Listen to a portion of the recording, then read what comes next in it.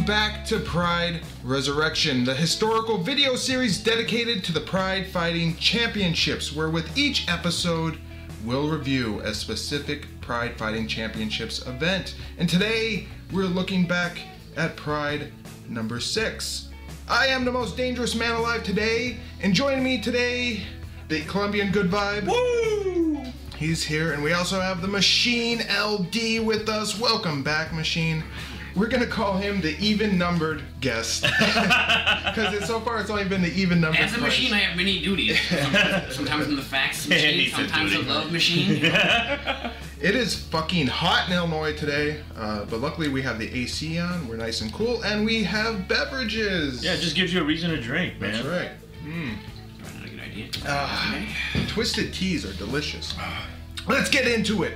It's July 4th, 1999, and in commemoration of America's birthday, 12,500 Japanese fight fans have converged on the Yokohama Arena in Yokohama, Japan to see a night of spectacularly amazing fights. Or so we hope. It's been less than three months since Pride number five, and on this eve of man on man fighting action, we'll be treated to seven MMA bouts of spectacle with one bout of Kyokushin karate to satisfy our bloodlust.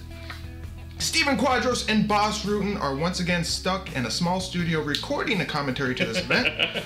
With Quadros on play by play, of course, and Rutten providing his oh so wonderful color commentary and random bullshit. We are watching a DVD rip of this event, and it's amazingly average. And we don't- Hey, hey, amazingly average is amazingly better than what we fucking started with, alright?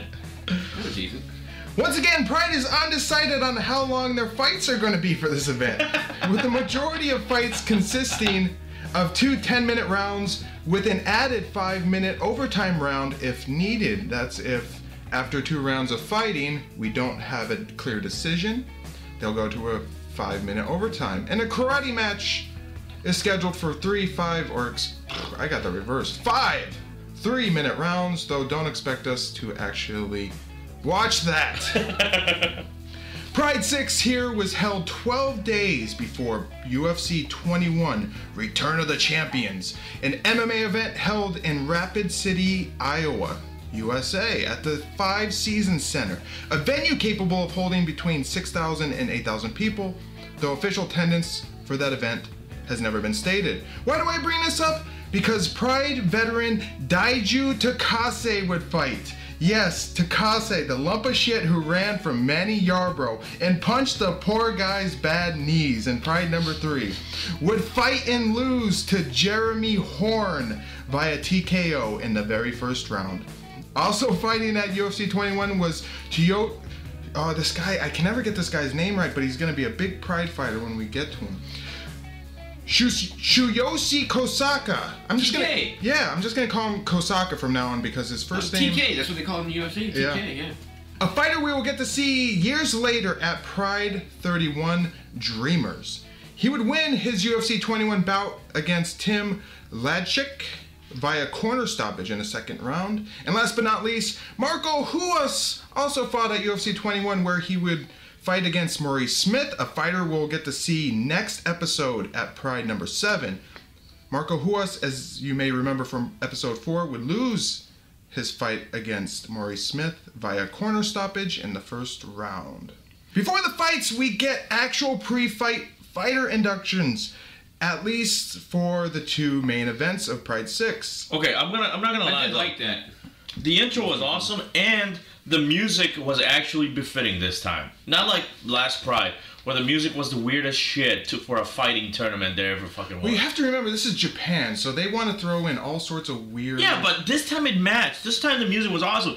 And they had motherfucking fireworks. Just wait until we get to the official Pride intro music. The it's amazing, and when they do the pre-fight introductions, they this is just like a little test sample. They're just doing the two main events, and I assume this was billed at the time as a double main event with uh, Sakuraba versus Braga and then Kerr versus Takada. But in the future, like when we get to certain prides, they do this huge extravagant. I also I also hope that A lot of eventually Yes. eventually we get to the point where we get fucking subtitles Uh, because Oh. Jesus Christ, man! Like I, I even, I even had my own like when they were doing the introductions of each fighter, I had my own uh, translations. I'm like, first hailing from the white north, a white guy. Next up, one of the only people from wrestling with a positive win ratio. Next, the stereotypical American. And finally, the man you don't want to see in any more main events, but he pays the bill, so we're fucked. well, you know, the ring announcer when they actually do it, like they say until they get to the the woman who does the intros, where she actually says the names in English. The ring announcer when he introduces them in Japanese, of course, they don't make any sense to me. But, no, no, they don't. Like, uh, and they were saying a lot of shit for like in this intro. Yeah. Like, and I want to, I would want to know what the fuck they're saying, but Did anyone else notice Mark Kerr's dainty little wave? When did anyone catch note of that? He, uh, I'm gonna include a clip here. He gives this cute little wave. It is so so cute. That's the only way I could put it. Actually, one second. Yes. Because uh, when I watched this intro and after the four fighters were introduced, Mm-hmm. All that was going through my head is if they start a four way match right here, right now, that would be the most awesome, fucking epic That's like thing the Russian ever. league. The Russian, there's, Five on, it's like a five on five. There- Yeah, yeah, I- I've seen Oh commercials for that. That It looks is- fucking awesome. No, it's not because it is the worst. It, only in only in Russia. because as soon as one guy goes down, now it becomes two on one, and then that guy goes down. Now it's going to be a three on one. Yeah. And then eventually you're going to end up four on one. It Just it's a mugging. It's kind of cool. You should see like knight league that they do. Have you ever seen that? They're No. they're in full like like knight outfits. Oh no, wait, yeah, no. shields. Eh, That's what it's. Yeah, I've seen that, and they just beat the shit out of each other. Uh, it's ridiculous. Oh God, Russians. 七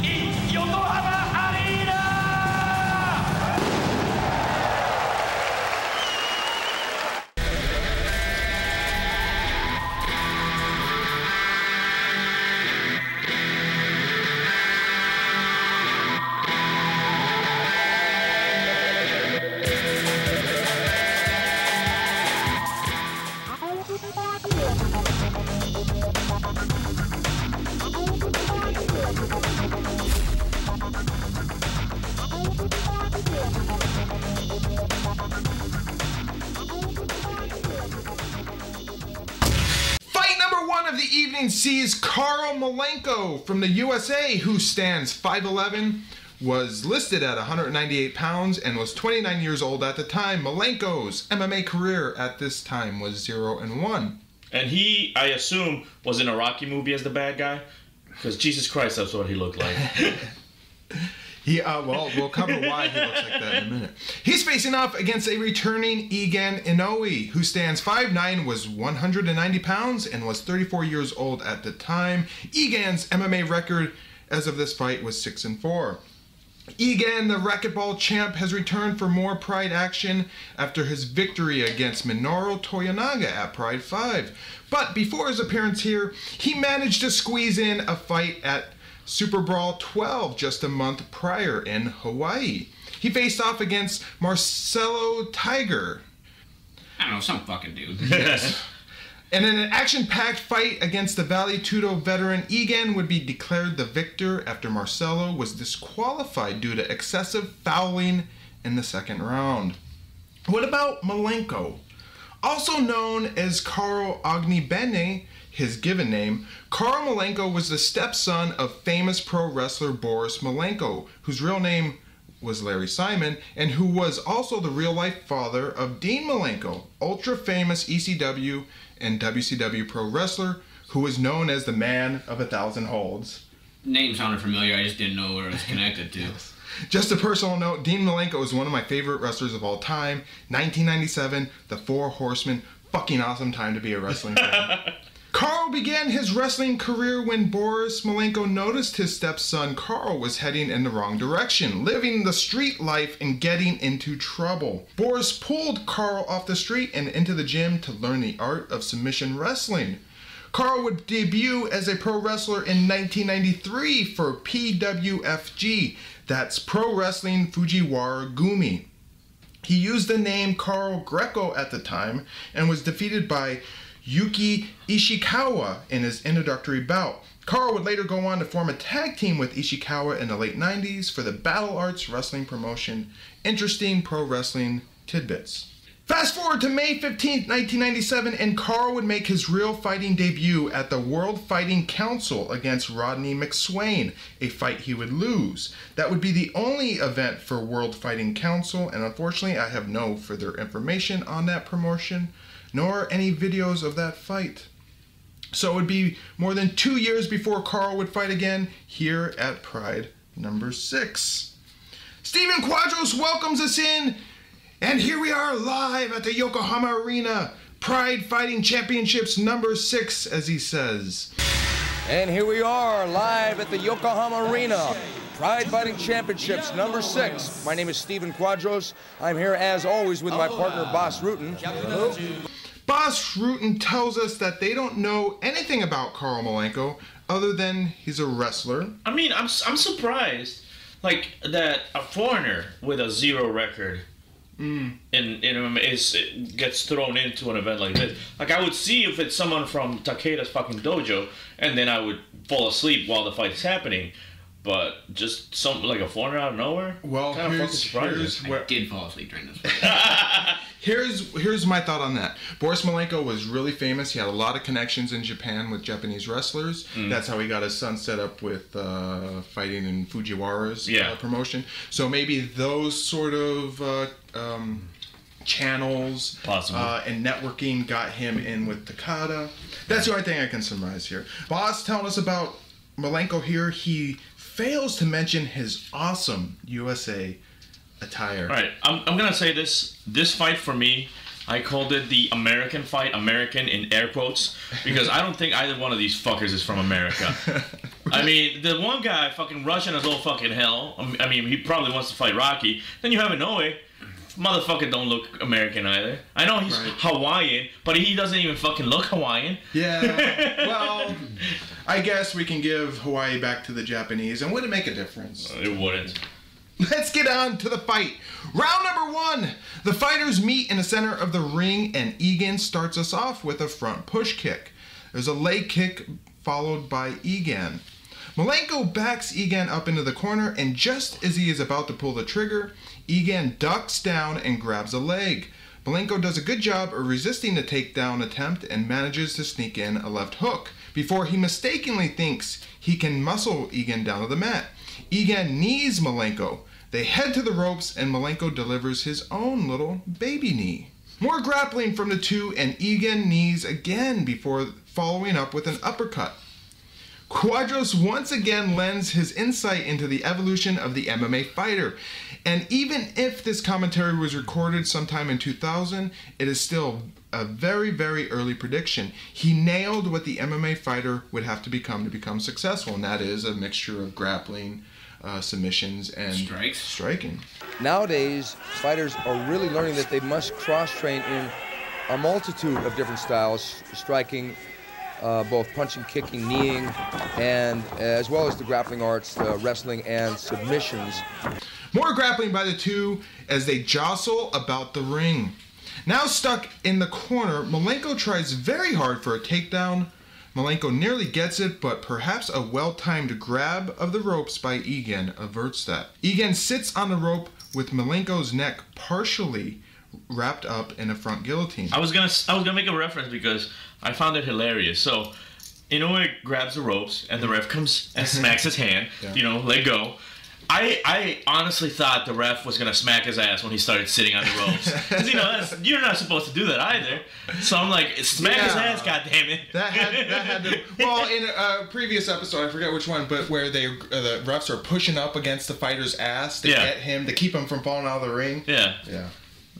Finally, Malenko powers Egan down onto the mat and gets into Egan's guard. Three minutes have passed in round number one.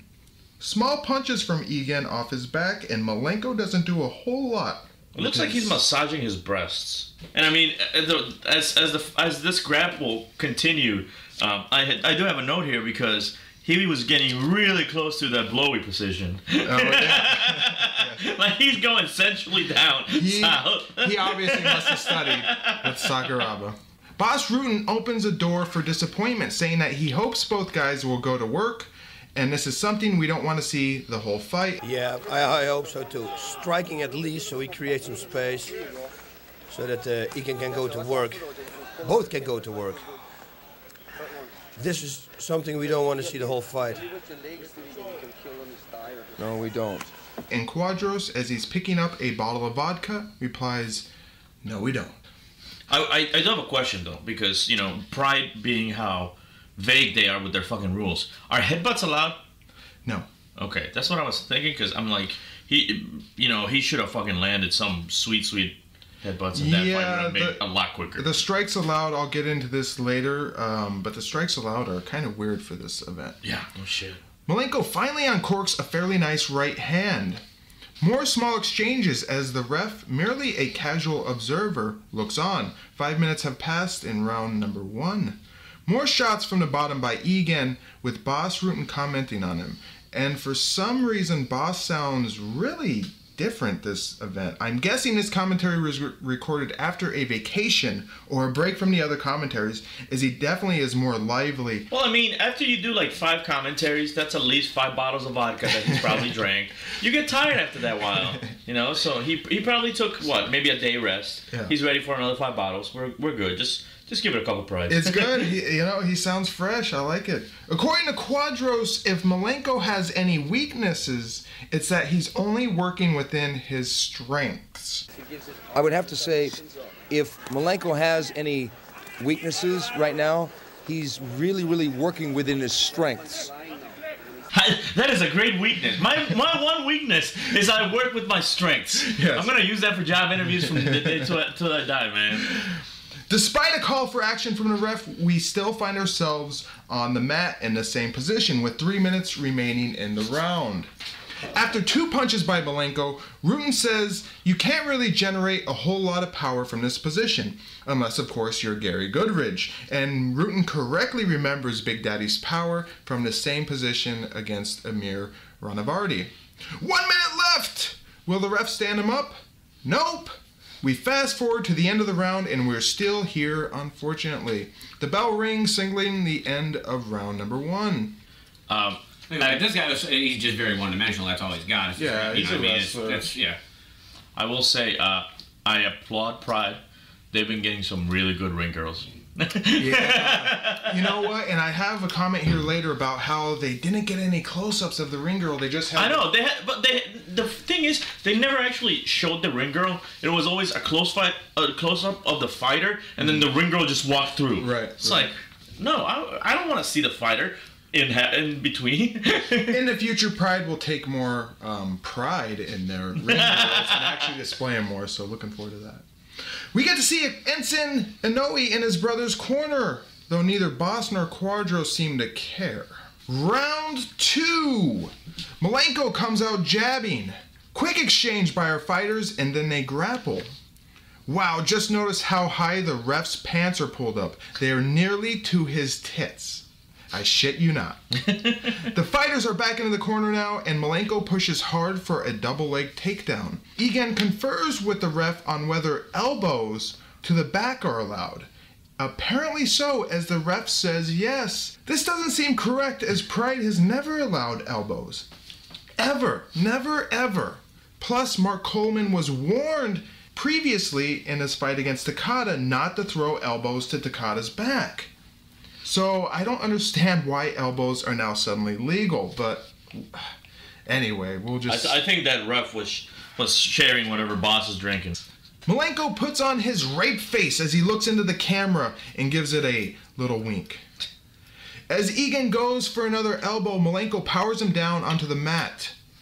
Quadros laments how fights that feature grapplers seem to fall in the same rhythm and never break the cycle of takedown, lay on top, and do nothing. However, there is someone in the audience that fucking loves this fight. Because you can just hear every once in a while him fucking yell, Yeah! Obviously, that Egan is a is a Yeah! Yeah. I think it's the same guy he chants for somebody else later on. I don't know. I, I could. I, I wasn't paying attention later on, but I like I'm watching this fight, and because it's a boring fight, you know, you start paying attention to other stuff, and all of a sudden I start hearing, "He can!" I'm like, "Holy fuck!" Oh, this fight was so boring. Like when I watched it, I fell asleep, woke up, and they were still doing the same shit. It's like you can go like I have really bad insomnia instead of like you know giving you like sleeping pills or something. They just hand you a Yeah. copy of this fight. Yeah. Like "Eh, just, just watch this, you'll be in bed. in No The best time. of Carl Malenko, the sleep aid. The ref suddenly burst in. Don't move! Don't move! Stop doing move! Happened so many times in previous fights. Don't move! Don't move! Don't move! Stop doing move! The ref pulls the fighters away from the corner and the fight is restarted. Malenko tries to pass guard very aggressively, but Egan maintains guard position and then threatens with a triangle choke. Malenko manages to escape and tries to pass guard again. Not much happens here. Some punch attempts by Malenko, but he is pretty much doing the notorious lay and pray strategy as Quadros and Bas discuss what causes fights like this to be boring. Five minutes remain in round number two. Malenko unsuccessfully tries to pass guard again before delivering a nice right hand. Malenko may or may not have errantly attempted a leg lock, but despite his snafu, he manages to stay in Egan's guard. One minute remains now. Why hasn't the ref stepped in to stand him up? I this ref that they have for this fight, and he's in uh, more fights later on. He doesn't stand up any of the fighters. He Like I'm telling you, this launches this ref was just weird. Just But if you're in it, oh, if you're in it to win it, you're the guy just laying fat on the other guy. You know what I mean? And that's your thing, and you can win that way. If you keep getting stood up all the time and you can't strike, it's, you know, it's boring for whoever. But if you're a prize fighter, Yeah. it sucks to be taken out of your game to be stood up. The fighters jostle and trade a few punches here and there until the round ends with an unsatisfying conclusion. The fighters are brought to the center of the ring, and it appears the judges want to see more fighting as they have not had enough over two rounds to declare a victor. And so we go to a five minute overtime round. What is wrong with the judges? Why would they want to see more of that? Yes, they should just say. We, we, we need more. We need more of him laying on the other guy. We just need it. And apparently, this is according to Quadros, the first two rounds now mean exactly jack shit, and only the overtime round will count in the eyes of the judges. We're going soccer rules. Yes. overtime round! Egan comes out swinging, leaping forward with a right cross. They grapple, and Egan takes Malenko down. Egan manages to pass the half guard. As Malenko rolls to his side, he gets an underhook and dislodges Egan from his position. As a last ditch effort, Egan tries to take Malenko's back, but realizing he was too high, Egan squirts away, and now we're back to standing. Malenko rushes forward, and Egan delivers a kick before Malenko grabs him and is able to take him down. Malenko hops to side control for a blink of an eye before being put back into guard. Three minutes remain in our five minute overtime round. We're back to Malenko's steady but slow guard work. He once again tries to pass guard, gets stopped, but reverses direction and actually succeeds before Egan reestablishes guard. But Malenko refuses to give up on his endeavor, passing the legs again and very nearly taking Egan's back. Egan slips away, and now Egan is on top of Malenko in north south position, or as we like to call it, the Freaky Mountain. Mm. No kidding, man. I'm like north south, tee hee hee. Egan slides over to side control. Malenko rolls, gets to his knees, and now Egan has him in a forward headlock. Malenko gets to his feet. Egan follows, then Malenko drops back down before standing once again.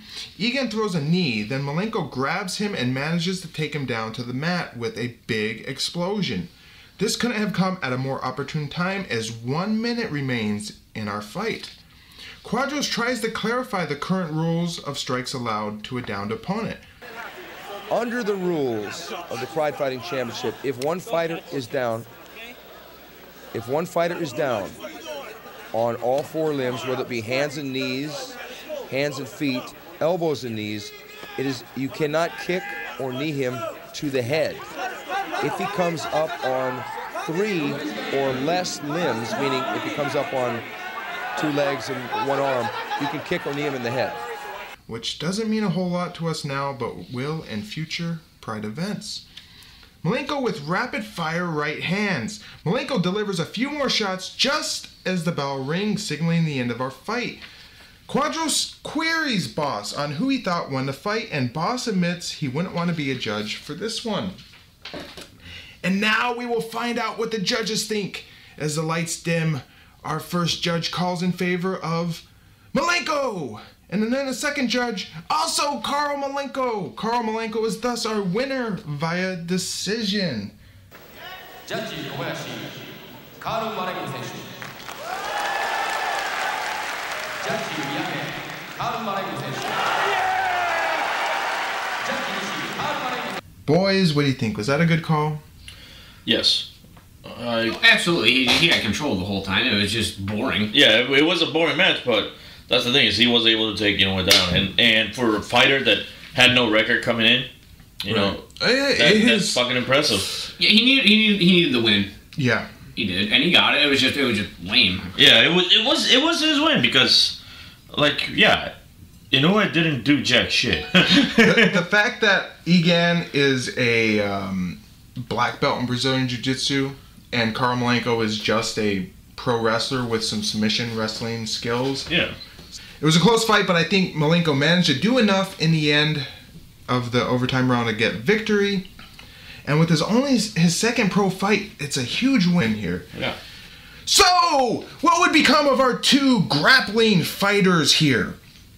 We'll only get to see the bald Inoue brother once more at Pride 13 Collision Course, which would be held on March 25th, 2001. Before that, he would only fight once more at Super Brawl 15, which was held on December 7th, 1999. Tune in for Pride Resurrection episode 15 for those results.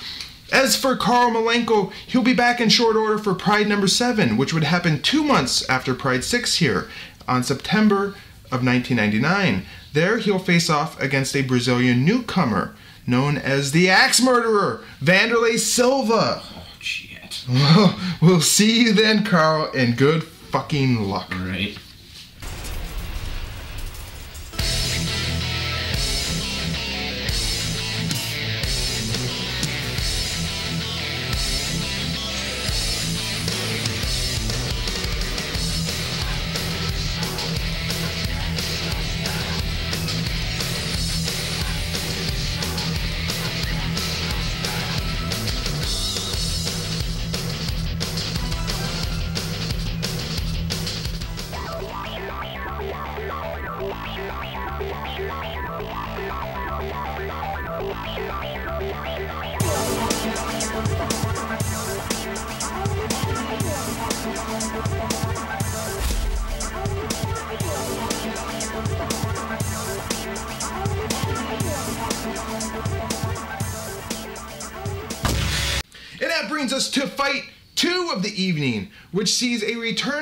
Carlos Newton, who stands 5'9, was listed on the title card at 169 pounds and was 22 years old at the time. Newton's MMA record as of this fight was 5 and 3.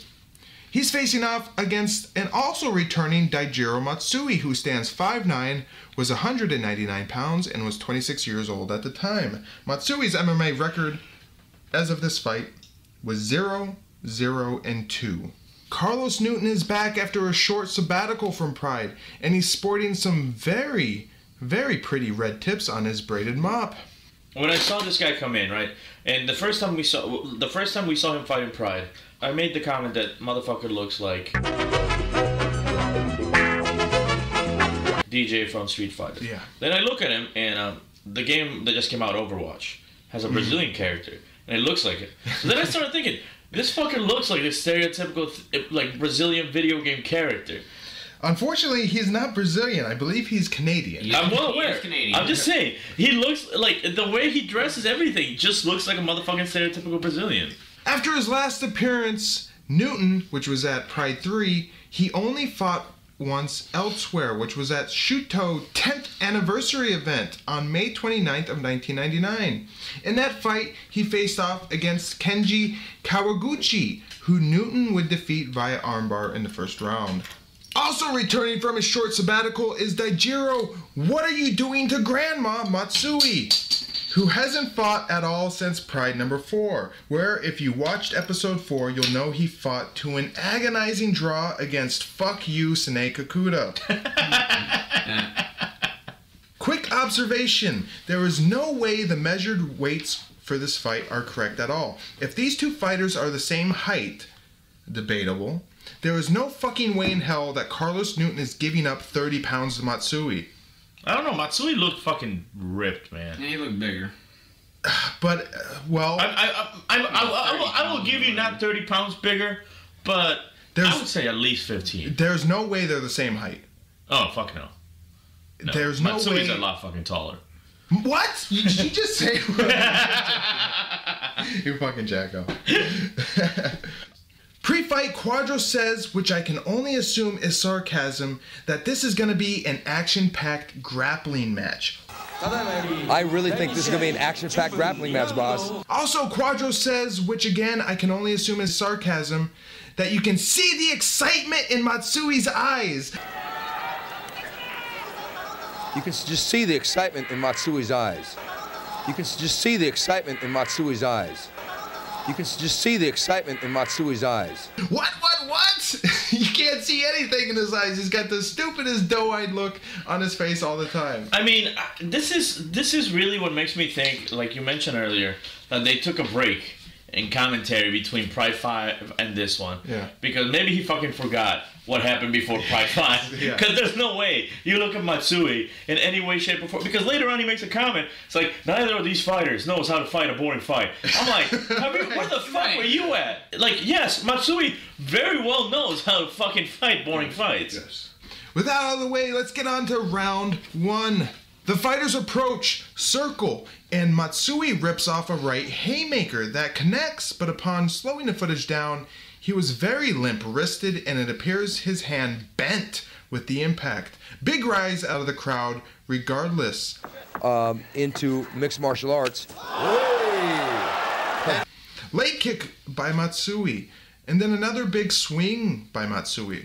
Oh my god, what a punch by Newton! And it- I've seen a lot of guys. Oh, good, right? He slugs Matsui with a straight right, and Matsui definitely felt that as his legs shook. Matsui immediately shoots down, but Newton sprawls, winding up on top of Matsui. So, the couple strikes Matsui has been throwing, they're not bad. They, they look pretty good. At least he's throwing. And, and, and they look a lot better than he used to. However, the moment he fucking goes for the grapple, it's the same shit we saw when he first started. It's he, he I could see he was about to do it like last week. Yeah. Bas comments that Newton has trained with him for three months for this fight, and they did a lot of striking. Uh, Sakuraba, he very rarely ever threw a punch. Yeah, but uh, Newton now trained three months with us, and uh, we did a lot of striking. Uh, I guess apparently uh, Bas hung out with uh, Newton a lot because in a previous fight that Bas commentated on Newton against Sakuraba, he said he told us at Tibet that Newton only does free uh, exercises to build his muscle. He doesn't use any weights, so he does like push-ups or uh, Shit you would do in a prison cell.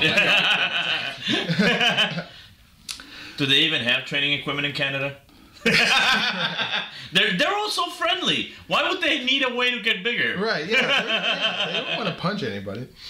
Matsui pressures Newton, who turns him and gets both hooks in, having control of Matsui's back now. Newton fights for an arm. Matsui gets to his feet. Newton hangs on. Matsui stacks him and manages to get free. Matsui seems to think that he's Edward Norton in American History X as he stomps away at Newton's head. First head stomp in Pride too, I believe. Yeah, uh, Sakuraba tried those double. Yeah. Well, this is the first like successful. Right. Well, I mean, actual but, but. Sakuraba He- he was looked to the aiming. Sakuraba was aiming more for the body.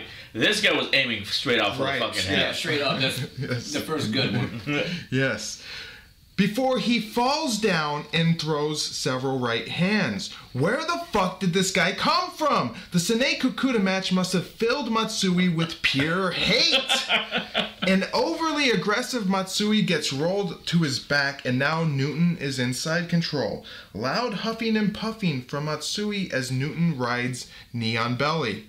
Quadros says that neither one of these guys knows how to fight a boring fight, and obviously Quadros must have been blackout drunk for Matsui's last two fights in Pride. Yeah, because he keeps saying these fighters don't know how to be a boring fight. I'm like, Jesus, man. Did you forget where you were from the other previous one? Right. Oh, shit. Newton works for an armbar and a Matsui turtles up. We take a breather here before Newton effortlessly moves to Matsui's back, right to the body by Newton. Two hesitant knees by Newton. As Matsui teases a Kimura, Newton lifts him up and slams him down with ease. Newton with a side control like position. Then he jumps onto Newton's back. Matsui bumps him forward and Newton hangs on for an armbar. But Matsui lifts Newton up and slams him down, tries it again, but with a bit less success. Then Matsui manages to escape and throws a few punches. I mean, at this point, I'm really impressed with Matsui because there hasn't been one defensive position where he hasn't thrown a strike. Yes. And I'll say, that was a great little sequence, great action so far, and Quadros was right, but FYI, I think Quadros watched this fight prior, so it's cheating on his He's part. lucky he had to. Right, right. Matsui in full guard now, and just a note, Quadros is way ahead of his time once again, where he actually names the lay and pray strategy. This is beautiful. If I were coaching a fighter, I would only show them fights like these. Yeah. I would not show them some of these lay and pray type fights where He's pulled this out, and fuck, that's a huge, huge uh, tip of the hat to Quadros there. He's he really is the fight professor. Or maybe it's because he's doing the commentary after those terms have come to exist. well, that's possible too. Even still, though, I think Yeah. he's, it's, it's He's still way like- ahead of his time. Yeah. Punches by Matsui and then knees to Newton's face, but Newton sneakily latches on for an armbar again. But Matsui escapes. Five minutes have passed in round one. Excuse me. Newton manages to lift and drop Matsui down to the mat, and now he's in side control again. Then he gets a knee on belly again. Newton finally commits and takes mount, then slowly steers Matsui away from the ropes, nearly losing position in the process. Newton with a lackadaisical strike. And as he goes to deliver another, Matsui rolls, giving up back mount. But Newton is very loose and high on Matsui's back, and Matsui eventually turns him over onto the mat. Matsui delivers a few good strikes here. Matsui pulls out from Newton's grasp, and now he has Newton's back. Whoops! Matsui tries to get smart with his position, possibly trying to isolate for an armbar, and he falls off Newton completely. Now Matsui is back on the mat. Three minutes remain in round one. Ref stoppage to reposition the fighters. Bas says that now the fighters can take a breath as they have earned it, and he is right. This has been a very, very good match so far, and surprisingly so. You see, and for me, they, they, they can take a deep breath now for a minute. Oh, yeah. I don't care. They've earned it. they earned it. Lots of loud breathing here by both men.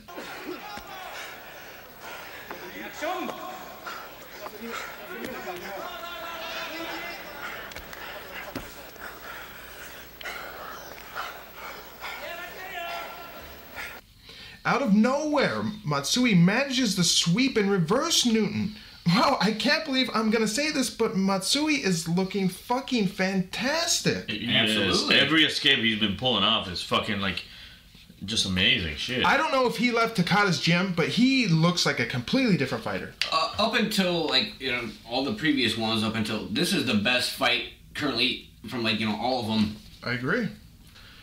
Matsui teases a mount before slipping down to side control and getting reversed by Newton. Inane shouting from Matsui, similar to his frustrated screams in Pride number 4. Newton stands over a turtled up Matsui and moves his body to the groove as he contemplates his next attack. He delivers a knee, getting a good response from the crowd. More beautiful is what Car- Carlos Newton did, because for me it's real easy to see it from this side, but he saw it from the fighting position. That makes it unbelievable. Look at it. One minute remains in round one. Axe kick to the back by Newton. A punch by Newton, and Matsui gets to his feet, swinging back at Newton. More punches by an aggressive Matsui, some connecting, some not. The crowd is absolutely eating it up. Oh, Matsui really trying to uncork one on Carlos Newton's jaw, and it missed narrowly. Whoa. Man, Kick by Matsui as Newton misses with a counter punch. Takedown attempt by Matsui and Newton dodges. Now Matsui is kind of looking like the Matsui of hmm. old, where these shots aren't even close. Newton stands over Matsui and rains down punches and kicks. Matsui shoots away, rolling to his back, and here the bell rings, signaling the end of our first round. Awesome action, excellent fight so far. Quadros and Bas both love the action, they call it a crowd pleaser, and that is for sure. Round two. Matsui is raring to go, causing the ref to have to send him back to the corner. Matsui lunges in for a right, delivers a leg kick. Newton responds with a right punch of his own. Matsui chants break out in the crowd. Right hand, right on the button. Right low kick. Newton answering with his own right hand.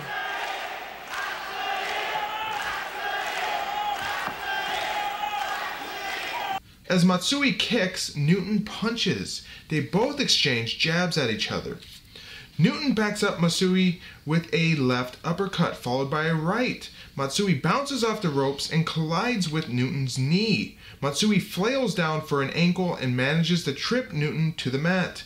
As Newton tries for an armbar, Matsui falls through the ropes. The fight is halted so Matsui can return to the ring. Matsui also is now sporting a small cut, which, before the fight begins, is checked on by the doctor. As the fight is restarted, an aggressive Matsui nudges the ref to get out of his way, to which the ref says nope and has a discussion with Matsui. Nice leg kick by Matsui. Matsui dives in for a leg and once again brings Newton down to the mat. Matsui is back in Newton's guard. Stop and restart by the ref to get us closer to the center of the ring. Matsui clutches the back of Newton's neck. Newton curls up for an arm bar or possibly a knee bar, and Matsui falls out of position as he attempts a donkey kick backwards towards Newton's head. Now, there's one thing that I, I noticed, especially like when when the first round ended, Quadros made a comment out of it, and I, I started noticing it. Matsui has been throwing a lot of strikes, and some of them have been hitting, but when you look at Carlos, he doesn't have any marks. So it's almost like all the hits are barely even doing Yeah. anything whatsoever. Barely. Uh... Meanwhile, Matsui is just you know looking like shit. Yeah, I don't know if Matsui cuts easily or bruises easily, but yeah, there must be a definite power difference between uh, their strikes here. Oh, where was I? Let's see. Matsui then flies in for a jump kick, getting a big rise out of the crowd and our commentators. There he goes. Matsui with the elbow to the. Oh, Matsui going for the neck crank here. Bar again. Oh, and Oh, look at that. Oh, Matsui goes was. for. Look at you see that this. back kick? Wow. A jump left side kick. We're back down to the mat after a Matsui takedown. According to Bas, this fight has already made his top 10 list of best fights ever.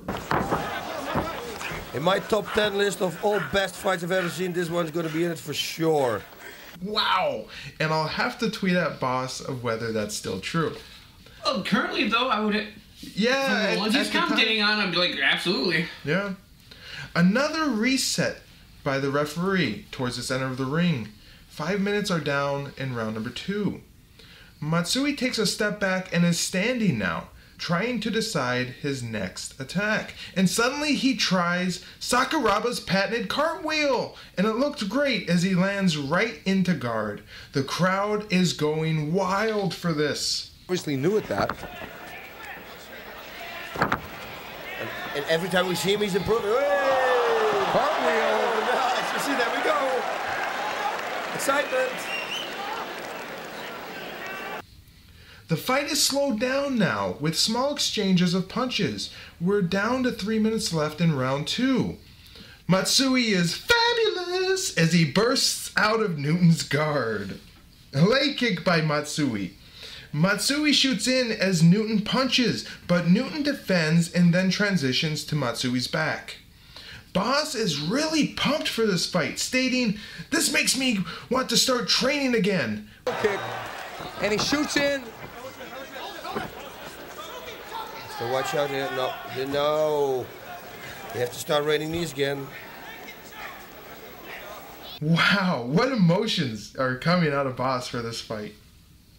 Only one minute left though, and we're now moved over to the ropes with Newton now on back mount. But strangely, Newton does not even think about threatening with a choke. And suddenly the bell rings, signaling the end of the fight. Or is it? The fighters approach the center of the ring and we hear the decision. It's called a draw. So once again, we are going to a five minute overtime round to decide the winner. It was a good call though. On the, I would, I wanted to see another one too. Overtime round! The bell rings, the fighters touch glove, and we're off. Push kick by Matsui and a swinging right. Newton dodges and hugs Matsui from behind. Newton throws a left, and Matsui rolls away, now on his back. Matsui manages to stand with a left and right delivered by Newton. They trade, and then trade again, and more trading of punches. Matsui shoots in and Newton falls to the mat. Stop and restart by the ref to move the fighters away from the corner. Steady punches by Matsui, who once again breathes extremely loudly, and the silence from the crowd at this point isn't helping.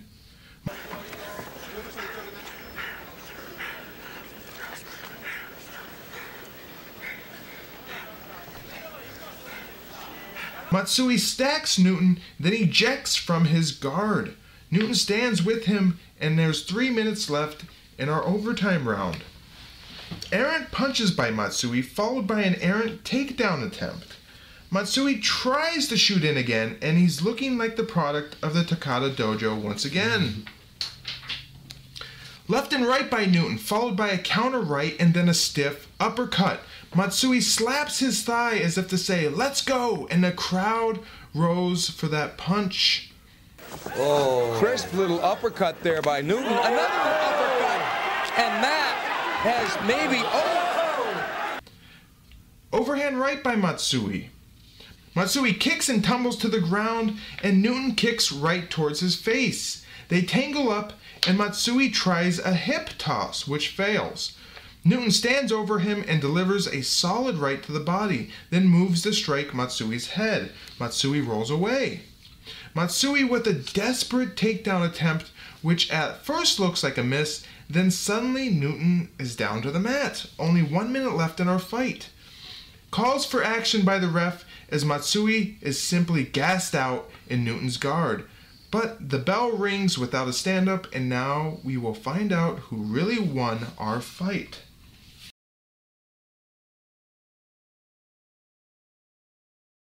Is back. Judging Kobayashi, Kazu.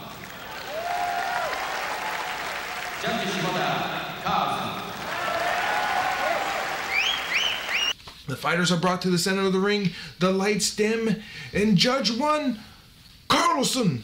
Judge 2, Carlson. And the Carlsons have it. Great show of sportsmen by Newton bowing to uh, Matsui. And it's a great fight overall. Uh, Carlos Newton is the winner via decision. What do you guys think? It was an excellent fight. It had everything. You had good, had good scrambles, good stand up. The grappling wasn't boring. I mean, Matsui to me showed Sakuraba levels of improvement. Yeah. Like, I mean, you still have some of his flaws and stuff like that, but overall, he's just fucking amazingly better than he was. This like, was- I'm pretty sure he could beat Takada. No, this Matsui looked was like a completely different fighter. Yeah, this was a completely different fighter. Matsui looked a thousand percent better. I don't know where he went to train or if he watched his tapes and was like just fed up and said, you know, I'm gonna go out there and I'm gonna punch and I'm gonna, just gonna do everything. But he looked fantastic. I and, said, and you could see guy like and even any time that the refs split him up or like try to reposition them and everything you know he he he had energy he had like he he, wanted was it. he wanted to go back into the fight he man. was fired up when the ref uh, like had to push him back or like he tried to push the ref. Oh yeah, out of no, that, that was hilarious. Like Oh, yeah. pushes the That back, was good. and it's like the ref is like, "No, you don't fucking push the ref back. Fucking pushes him back." Yes. So, what would become with our two ferocious fighters here? Carlos Newton would once again take a few prides off, not returning until pride number 9, New Blood, where he'll face off against OMG Yuhi Sano! Squeal! The lump of shit we all love. Can't wait for that one. Before that, though, he would fight only once outside of Pride, which was at WEF 9. That's World Extreme Fighting, which would take place on May of 2000. There, he'll face off against Carl Schmid. As for Daijiro Matsui, he would return for some man fighting action at Pride number 7, facing off against dangerous Dutch kickboxer and pal of Bas Rutten, Boss Schrijber. See you next time, Jughead. We've got a classic matchup here, Bas, of a master of submissions in Carlos Barreto right there against a master of striking in Igor Vovchanchyn. Yeah. And that takes us to fight number three of the evening, which sees a returning Igor Volchanchkin, who stands 5'8, was 235 pounds, and was 25 years old at the time. Igor's MMA record as of this fight was 40 and 2. He's facing off against Carlos Barreto from Brazil, who stands 6'4, 230 pounds, and was 30 years old at the time. Barreto's MMA record at this time was 9 and 1. In between Pride 5 and 6 here, Igor fought at the Interpride 1999 heavyweight final tournament, no relation to Pride, where he beat both his Russian Ukrainian opponents, first via TKO, then via guillotine choke, both in the first round. What about Barreto? Born in Rio de Janeiro, Brazil, Barreto was trained by Carlson Gracie, and it would appear that Carlson Gracie fighters are forming a formidable staple within Pride.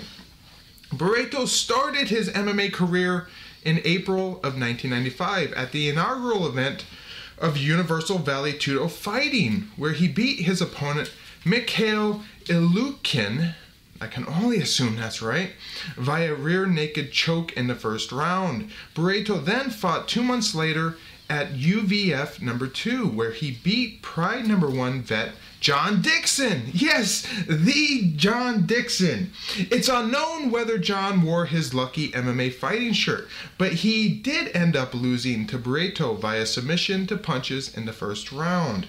Interesting stuff about John Dixon and trying to do research from him.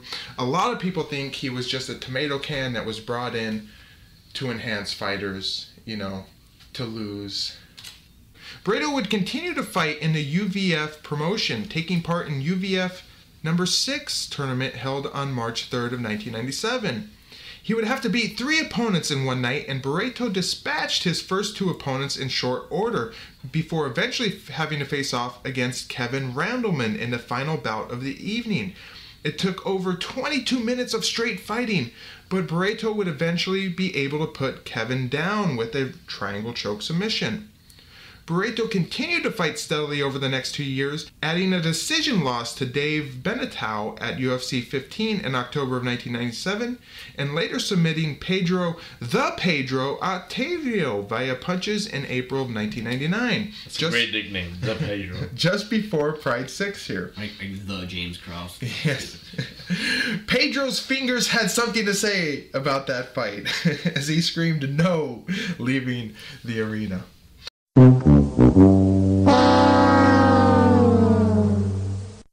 And that brings us here to Pride Fighting Championships number six. Pre fight, Quadros calls this a fight between a master of submissions, Barreto, versus a master of striking, Volchanchkin. Boss just hopes it's not a boring fight. Now, before we get into it, I do Oh. have to point out, Barreto to me looks like Balrog. Kind of. You and your Street Fighter. Hey man, it's a fucking fighting video game. That's, kinda does. That's about as good as I'm getting. Or, or if you want, uh, there's an actor, uh, J. August Richards. Uh, he played the. If you ever watched the first season of Heroes, no. and okay, uh, he played the husband to the uh, crazy chick. What's his name again? Uh, J. August J. August Richards. I'll have to Uh, put a post look him up as Deathlok in uh, Marvel Agents of Shield. Oh, okay. Mike Peters or whatever you want to call that character. So that when I saw what when I started looking at this guy, that is what I thought. That's the first fucking thing. And as the fight's about to start, the other thing that dawns on me is that Igor looks like an in shape Al Bundy. In shape like Al Bundy, like he would have been like back in in high school or college. He or played whatever. football. I know, I know he did. So he probably was in full shape back five, four touchdowns, one game. Exactly. Do I know you, man? Ever hear of Al Bundy? Polk High, all city, four touchdowns in one game. Exactly. So he was probably quite in shape back then, and I think that's what Igor looks like. Oh. Round one! The fighters circle with Volchanchkin dominating the center of the ring. It takes about a minute before Igor lunges in with a heavy left hook. It takes another minute before Igor wades in and misses with another left. Quadros warns Barreto about circling to his right, meaning he'll circle right into Igor's powerful left hand. Igor with a blocked overhand right punch. Nary a strike from Barreto so far. Now, as I'm watching this fight, the only thing I can see is that this looks like a fight from Super Punch Out, the video game.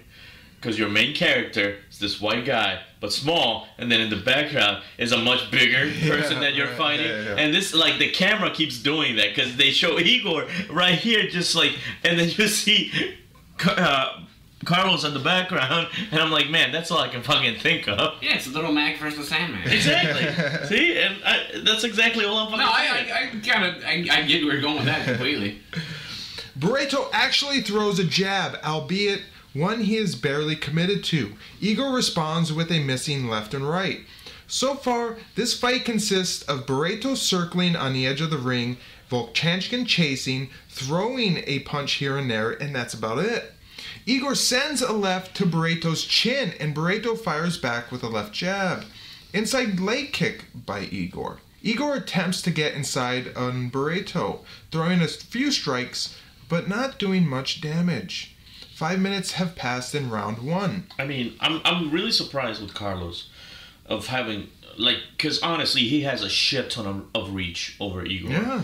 Like just a shit ton, and he's not not using jack shit. Over. His his record is nice. You don't want to stand up with them. Well, I know you don't, but you can you can soften him up because by the time Igor tries to hit you when you're hitting him, he has to launch forward, and you can probably counter that. Sure. So like, that's the thing is is Carlos is not really doing much. I think this fight might be the product of game planning on Carlson Gracie's side. Yeah. Because Barreto's nine and one. He's a Well, good and they fighter. kept, they kept saying though, he- Vovchanchyn should have like circled. Like, he, he, Yeah, he cut was him off. circling Yeah, it, but he's not. He didn't try to. yeah, know. And uh, but that's the thing is it's it's a it's a weird fight for me. I mean I'm like it's kind of weird.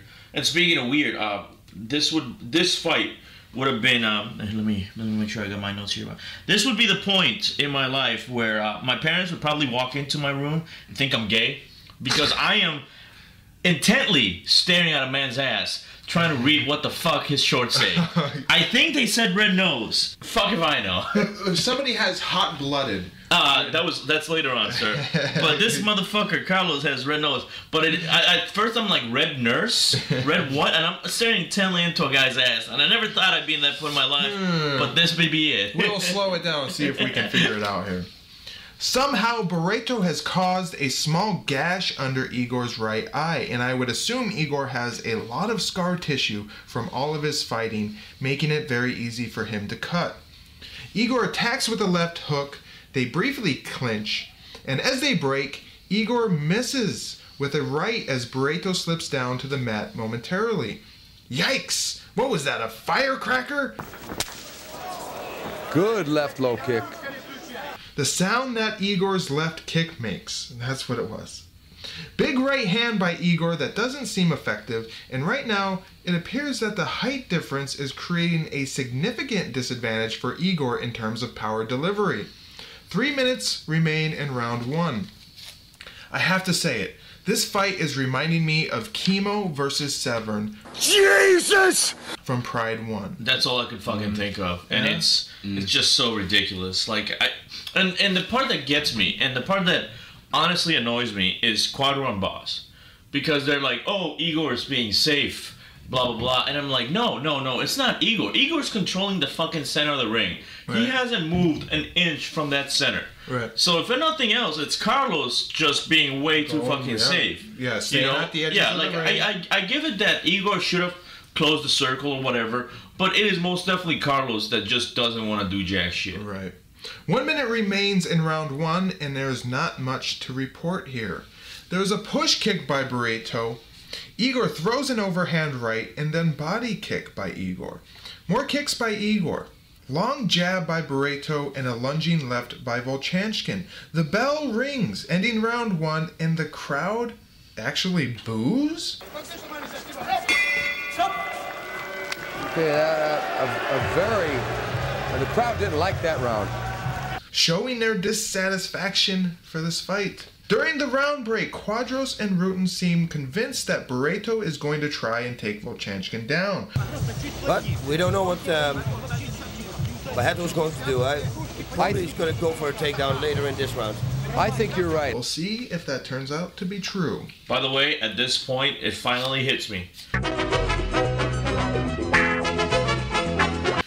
You know how I said Balrog or whatever for for Carlos? Mm-hmm. No, Phil LaMarr from MADtv. That's the face this motherfucking has. Phil Okay, LaMarr, look so him now up. I have to do a picture of Balrog Yes. of whoever the fuck you said. Yes, said and now Deathlok. and, and at the and at the break, Phil Phil LaMarr. LaMarr, you can just do like some Pulp Fiction, like when he shoots Marvin in the head. That's, that's that Yeah, all right. Marvin, what do you make of all this? Man, I don't even have an opinion. Well, you gotta have an opinion. I mean, do you think that God came down from heaven and stopped us? Oh, what the fuck's happening? Oh, oh man, man. Oh, man, I shot Marvin in the face. Why the fuck you do that? Well, I didn't mean to do it. It was an accident. Round two! Bas plays the role of seer, saying that Volchanchkin counters every jab by Barreto, which Volchanchkin does right on cue. Yeah, but he's look when, when he's giving a jab, uh, is countering the jab. He's pretty much going to do it every time. So then he knows, see, then he knows after the jab when he, he shoots down, he's going to get him because Vovchanchyn comes in after he's giving the jab. There's a leg kick by Volchanchkin. Jab by Barreto, countered by Volchanchkin, but neither is very serious. See? Jab. He counters. So jab, shoot. Bas is asking Barreto to shoot in for a takedown after he throws the jab, since Volchanchkin is countering on the jabs. Is it isn't um, Barreto's corner, this doing the same thing because that's all I can fucking hear. Shoot it, shoot it. Yeah, they're very loud in this fight. Quadro states we have not seen a single right hand from Barreto. We've virtually seen no right hands from Carlos Barreto, though. Man, Not a single right hand. Barreto, not a single right hand thrown. That's unbelievable. Barreto throws a jab, Volchanchkin with a big haymaker right that misses, and the fighters get entangled, the w- result of which being that Barreto falls to the mat. Volchanchkin quickly runs away from any potential ground fighting, and Barreto gets back up. Suddenly, the ref jumps in, stops the fight, and gives a one caution to Barreto for stalling. Are we are we not doing cards anymore? Yeah, then? why no yellow card, Because ref? that, that's the that's the equivalent of a fucking yellow card. Yeah. a caution. Yeah, so he points out to all the the judges one one caution, one caution. Just give him a yellow card, fuck. No shit. Uh, where was I? Now, Barreto starts to throw some kicks. Volchanchkin wades in and suddenly clocks Barreto with a swinging left. Barreto flails towards Igor's sprawling legs. Igor looks to escape from any grappling position, and as they stand, Barreto maintains a body lock and trips Igor down, landing in half guard. Now I'm gonna disagree once again with Bas and Quattro because they say that Carlos is a big man, and he's not really a big man. He's a tall man. I like I, when I think when I say when I think someone says a big man, I think fucking Gary, Gary Goodridge, man. That he's a big man. Bas and Quadros make mention of Volchanchkin's only submission loss, which happened when his opponent put their chin right into Igor's eye. That's like a little brother, but like big brother versus little brother. Like I can put my chin right in your eye. Ridiculous. Not much work from Barreto on top here. There's a couple punches here and there. Barreto seems to be apologizing for something involving the ropes, and it almost sounds like he has a dandy South African accent. His face and push yourself out. But Igor's got his right arm locked up. Sorry, sorry, Igor. Mm, sorry. Okay? Yes, right, but his left. I mean, his left. Go over and unless it's someone else. Five minutes have passed in round two. Barreto works to get Mount, but just as he almost gets there, he gives it up.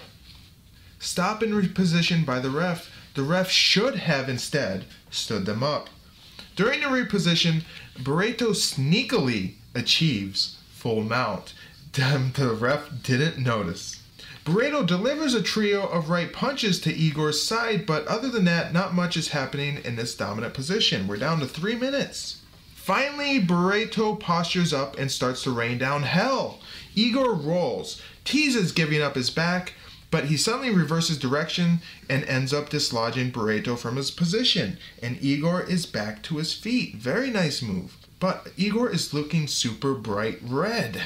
Barreto falls to his butt as a means to try and get Igor down into his guard, and Igor merely laughs at him. Barreto then ashamedly returns to his feet. Igor's glove is fucked and the ref halts the fight. A fix is prepared and the fight begins again, but not before the ref kindly fixes Igor's trunks for him as well. he just had to go in there and like it was like his butt was getting hungry for the shorts. so the ref goes in there and pulls it down for him. It was very nice. The ref must have been anal about that. Like I can't see you fighting in that anywhere. Just pull it down. What a considerate ref. Lots of leg kicks by Barreto, and they are, but they are merely just positioning attacks. I mean, yeah, they're not even landing that much. It's just I think I think at this point he's just hoping not to get another caution. Yes.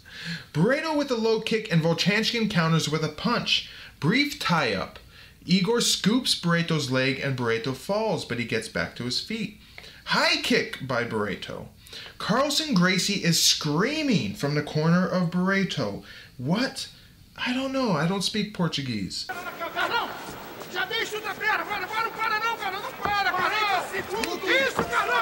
Oh, Vovchanchi should counter that. One minute, this is it. We just go full power now. Did you pick up my dry cleaning? yeah. yes. We're down to the last one minute of the round. Igor lunges in once again to deliver a left, Barreto responds with a front kick that is about a mile away. Igor swings again, but misses. Barreto's corner is apparently calling for kicks, according to Quadros, who must know Portuguese. All, all I can hear is shooting. Okay, Barreto's corner is imploring him to kick. To do nothing but kick. So you're not Portuguese. Yeah. Yeah, that, that's not even fucking Portuguese. That's just half-ass English.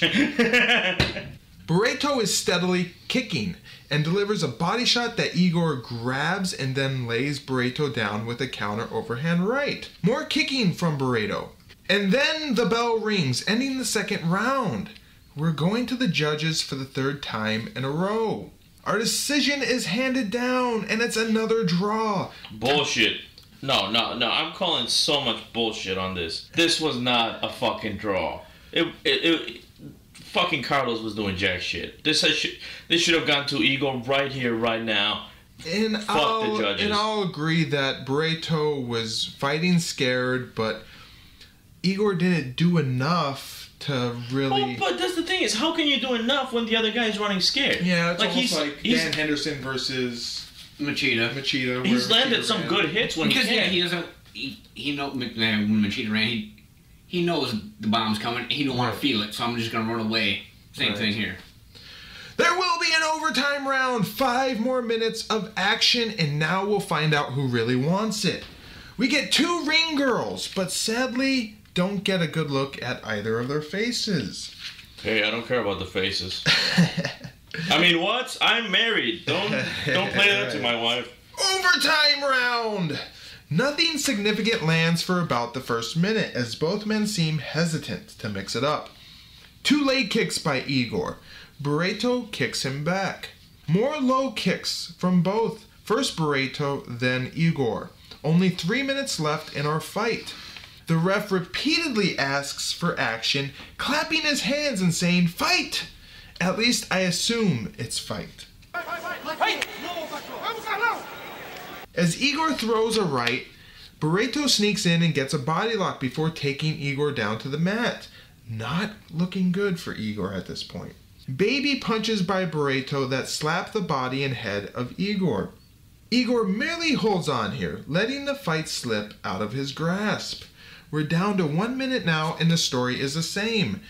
And as the seconds whittle down, it becomes apparent that the fight will end here with Barreto on top. The bell rings, signaling the end of our fight. Barreto gets up, raises his hands, and receives groans from the crowd. Okay, that's the end of the round. Okay, I, I, to me, it looked like Carlos Barreto. He returns to bow to Igor, and then we will find out who our winner is.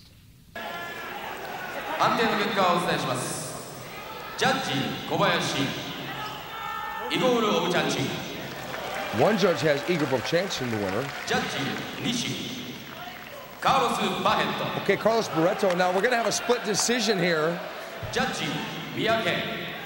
Igor Bochanson. Wow. I, I don't really agree with that decision because I think Barreto easily did enough to win that round.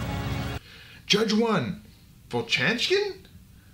Second judge, Carlos. And our swing judge, Volchanchkin. What, what, what? Igor Volchanchkin wins by a split decision. Quadros and Bas don't agree with the decision, and neither do I. I thought he lost too. I I gotta say, I uh, this last round, yes, he didn't do as well. But for me, this round should never have happened. And I'll agree with that, but according to the rules here, the third. I know, I know. Only I, I understand. overtime I round. understand that only the overtime counts, and yes, it's it, that one was a little bit more for Carlos. But to me, I just don't care because Igor should have won. yeah, you're, you're right. It should it shouldn't have got the third. Right. In future prides, all all fights will be judged on the entirety of the fight. Uh, Pride will never have Which is good. Pride will never have round by round scoring. Fights are only judged by the entirety of the fight. which I like too. Yeah, that's- totality. I hate the I hate the point system in MMA. It sucks. yeah, it's not boxing. No, yeah, it's not boxing. You only have three rounds, so why would you do a scoring system? But anyway. So, what would become of our big baddies here? Igor would return in short order for Pride 7, where he'll face off against Mark Kerr. Hell fucking yes. I don't want to see that one. That should be a good fight. Surprisingly, though, that fight won't be the main event, huh? That's kind of weird. It was the main event. It, yeah, I, exactly. We'll we'll find out. Undefeated Kerr versus Volchana. Yeah. Meanwhile, Barreto wouldn't be back until Pride number nine, and before that, he would find time though to fight at the IVC number 12. That's International Vale Tudo Championships. We will see you at Pride number nine, Barreto.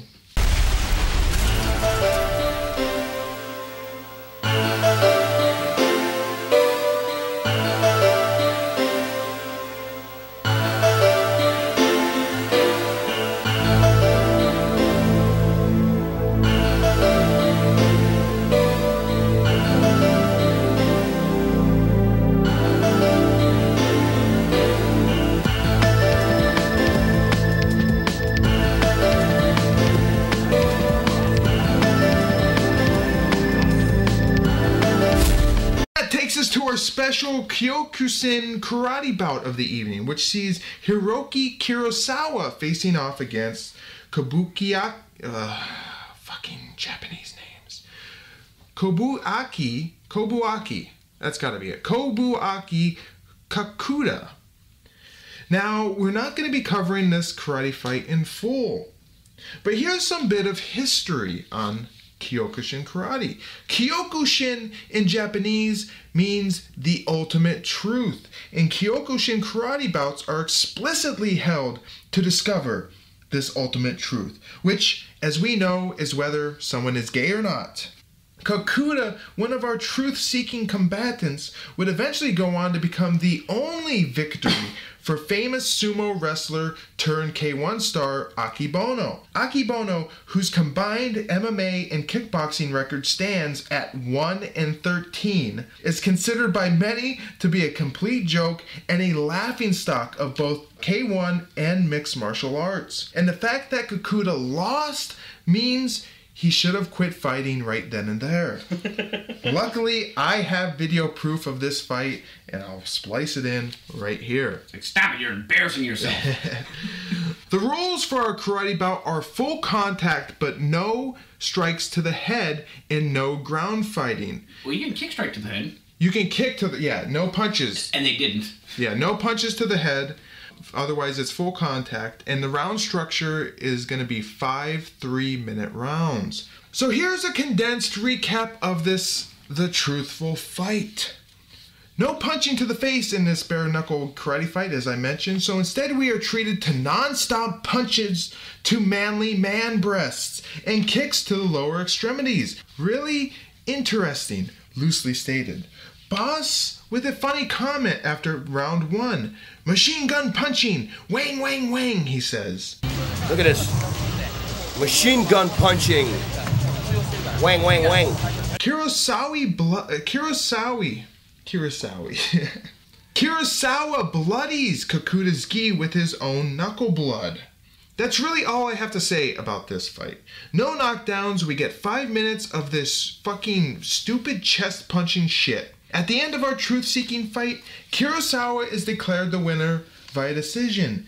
Thanks, boys. It was fucking really enjoyable. It's uh, trying, it's like hard asses trying to fight a cake, like friends fighting a cake party. Like, no head punches. Right. We're friends, but we're, we're still drunk, so it's like, like bash each other's bodies. That's what it is. Yeah. It's like, eh. And with that, we've come to the halfway point of our so far very decision ish event here. We're hoping the second half of fights will be less decisive, but for now, we're going to take a short intermission as we have a score to settle. If you recall last episode, I boldly claimed that I sandbagged whenever I played against Good Vibe in fighting games Oh. which means I was taking it easy on him. So now it's time for us to have our own ultimate truth battle. And we have to say goodbye to the machine. Uh, some circumstances have come up, and unfortunately, he won't be able to join us for the rest of the episode, but we hope to see him back in short order for Pride number seven. I have to check in with my parole officer. We're glad to have you, Machine. We, we love it when you come, and we're looking forward to when you can come back. So, with that, won't you join us as we go and play some video games? Whoop, whoop, video games. Welcome to intermission. All right, we are playing a Neo Geo classic, one of the last great games produced for Neo Geo. That's the Last Blade 2. Ooh, look at that. Oh, it's deflect upper attacks Yeah. only. All right. All right. All Oh, right, all right. I gotta get myself in here. Uh, who do I want to There's play? a big guy, there's some small people. I don't play this game a whole lot. I played it a couple times, but You know what? I'll be the short blonde ass kid. I'm going with power. Oh, you're going with power too. Well, I mean, I, I am, I am everything, but I, uh, I am power incarnate. I am. I've got an owl, I guess. With. Shimiji Pass. The voice speaking. Beautiful game. I love this game.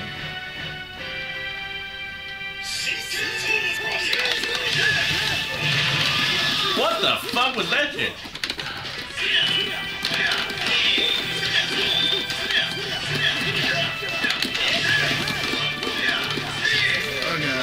My reach is huge, but I'm. I know, no shit, man. It's not connecting. It's like I'm uh, hitting past you. You my. you son of a bitch. Sandbag this bitch. oh, come on. Oh! Oh, that was a beautiful combo to end it. I'm not sandbagging it, I promise. Alright, here we go. I think I've seen the fallacy in your. Check this fallacy out, bitch. I'm just. My reach is too big with this guy. I'm swinging over you.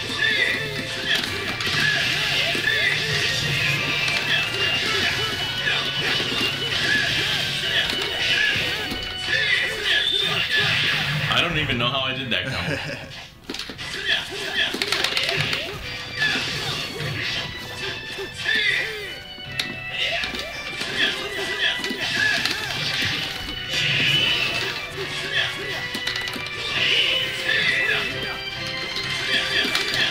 Oh, time's running low. How do you do the special attacks in this shit? No idea. Oh boy. Oh. Oh! Oh god, he might beat me! Take Yeah! Oh. Alright, we're going best two uh, best of three, so Oh. Did he just go black hair at the end there? yeah, it's kinda weird. Alright, fuck that guy I just picked. Alright, I don't play this game enough to really know what who's good at this game. Alright, I'll pick this guy here. I'm gonna go with speed. Oh, goddamn Shaolin monk. Village of Twilight. Will it be the sky Crimson. or you? I'm gonna knock that shitty ass hat off of you. Oh, you took it off before I did. Whoa! Jesus! Jesus! No! Holy fuck! Screw this shit! Get out of there! Free Taiwan! there! Free Taiwan.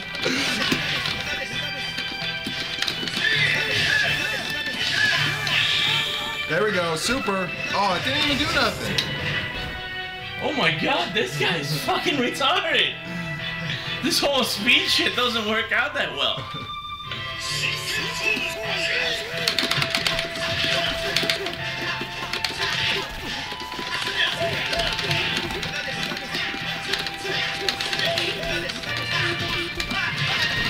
Oh, you blocked it. You countered it. Nice.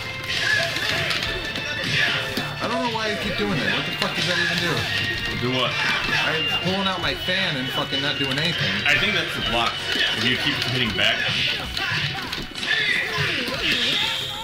Oh, yeah! Oh! Yeah! I gotta fucking pull this out here. Oh Woo!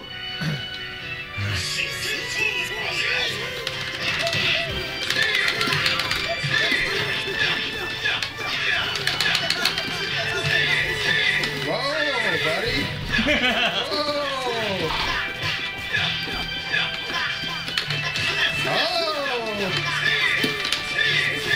Steve! Steve! Steve! He's either saying speed or like he's a drug addict.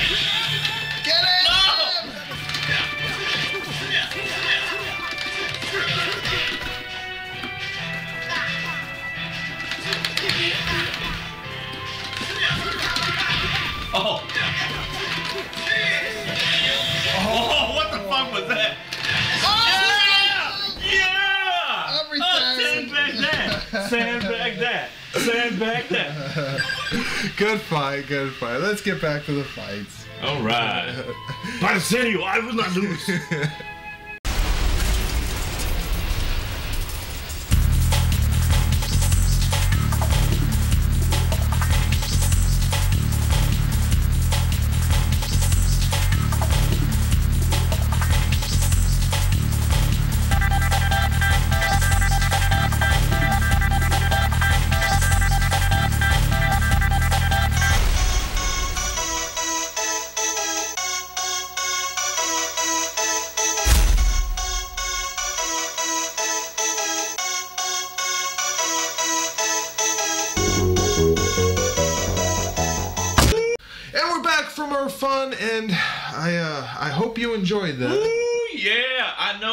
did. I know I did. I told you, I'm the better one.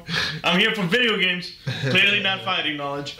With our playtime out of the way, let's get back to the action with fight number five of the evening, which sees a returning Akira Shoji, who stands 5'8, was 192 pounds, and was 25 years old at the time. Shoji's MMA record as of this fight was 3 2 and 4. That's 3 wins, 2 losses, and 4 draws. He's facing off against Guy Mezger from the USA, who stands 6 1, was 200 pounds, and was 31 years old at the time. Mezger's MMA record, meanwhile, at the time of this fight, was 22 8 and 2. Shoji is returning after a unanimous decision loss to Igor Volchankin, and now he gets a newcomer to Pride in Mezger. But just who is this Guy Mezger guy? Born in Houston, Texas, Guy Mezger trained in both wrestling and karate. In both 1993 and 1994, Guy would compete at the World Full Contact Karate Championships, where he would win both events. Guy would cement himself as one of the most formidable full contact karate fighters with a record of 42 and 1.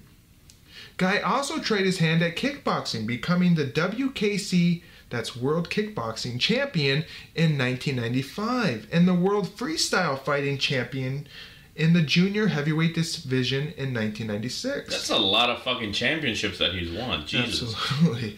Once again, Mezger would prove himself a formidable opponent, amassing a 22 and 3 record in kickboxing. In the middle of all this was his MMA career. On December 16th, 1994, Guy Mezger appeared at UFC 4 in an alternate bout of the tournament. He would beat his opponent, Jason Farn, or Farn, Jason Farn, I'm just going to go with that, Jason Farn, via corner stoppage TKO after only two minutes in the first round. Then came UFC 5 on April 7th, 1995, where once again Mezger was an alternate bout. And once again, it took By the way, what does alternate bout mean? so an alternate bout is in case the final bout of the uh, of the UFC tournament, Uh-huh. One of those competitors can't go on. Oh, okay. They would bring Mezger, or they would be, bring in the winner of the alternate bout in to replace an injured fighter. Okay, I got you. But where was I? And once again, it took Mezger only two minutes to beat his opponent, John Dowdy, via TKO. Mezger then caught a plane to Japan where he would join Pancrase in that same year of 1995. After winning his first bout, Mezger would face off against former pro wrestler, co founder of Pancrase, and future two time King of Pancrase champion Masakatsu Funaki in his second bout. Funaki would submit Mezger via Achilles lock in the first round. Mezger would stick around for the majority of the mid 90s, having bouts against Bas Rutten, a loss, and two bouts against future Pride combatant Yuki Kondo, garnering a win and a loss against Kondo. In 1997, Mezger would return to the States in the UFC, where he would win the UFC lightweight tournament held at UFC 13 on May 30th by beating both Christophe Leininger and Tito Ortiz. It was then back to Japan after that for more Pancrase action before another short stop in USA to fight Tito Ortiz again at UFC 19 on March 5th, 1999, that time losing via TKO. And that brings us here to Pride number 6. Shoji with a new look. No goatee and a new haircut, plus a lot of extra flub around his body. I don't think he is actually 195 pounds anymore. I was I was actually gonna I was wondering that because when I looked at him like he looks fucking out of shape. He looks closer to 210, maybe 215. He's, yeah, he looks out of shape. He's looking a little fat. I also want to point out um, I have named this fight the fight of the failed facial hair. You have you have Shoji who looks like you know a high schooler that never hit puberty, and then you have Guy who looks like a douche. Like I can tell guys from America. Yeah. His name is Guy, and he looks like a douche. He looks like a guy. That's You that's know, like who names their kid Guy? And of course, you know, sometimes if you believe in this, I've never met an Ashley that wasn't a complete fucking whore. I actually know one. I, I will say I know one Ashley that's not a whore. But Oh, okay. I was gonna say you know an Ashley that's a but it's true that maybe names you name your kid something and they turn like Yeah, and, and it's true because I don't think I've ever seen or met anyone named Guy that wasn't a douche. and I will say this: the moment I saw Guy, all I can think of is well, two things. One, oh shit, it's the Lost Feldman brother, and. This is probably what Screech would look like if he didn't become creepy. Oh, with that out of the way, let's get on to round one. The fighters meet at the center and they lock up. Mezger in control of Shoji against the ropes. Mezger goes for a takedown, but that cheater Shoji holds on to the ropes. Oh my god, I was so pissed at Shoji this match. Just in just in general, this son of a bitch. But the moment the fight started, there is one thing that captivated, and I mean really caught my attention. There is someone in Shoji's corner that sounds like a mouse on helium. They just threw me out of the fight. Like I'm, I'm paying attention to the fight, I'm getting in the fight, and all of a sudden his corner is like. I'm like, oh, what the fuck just happened? I did not catch that, but I will find it and I will play it here try to take him down.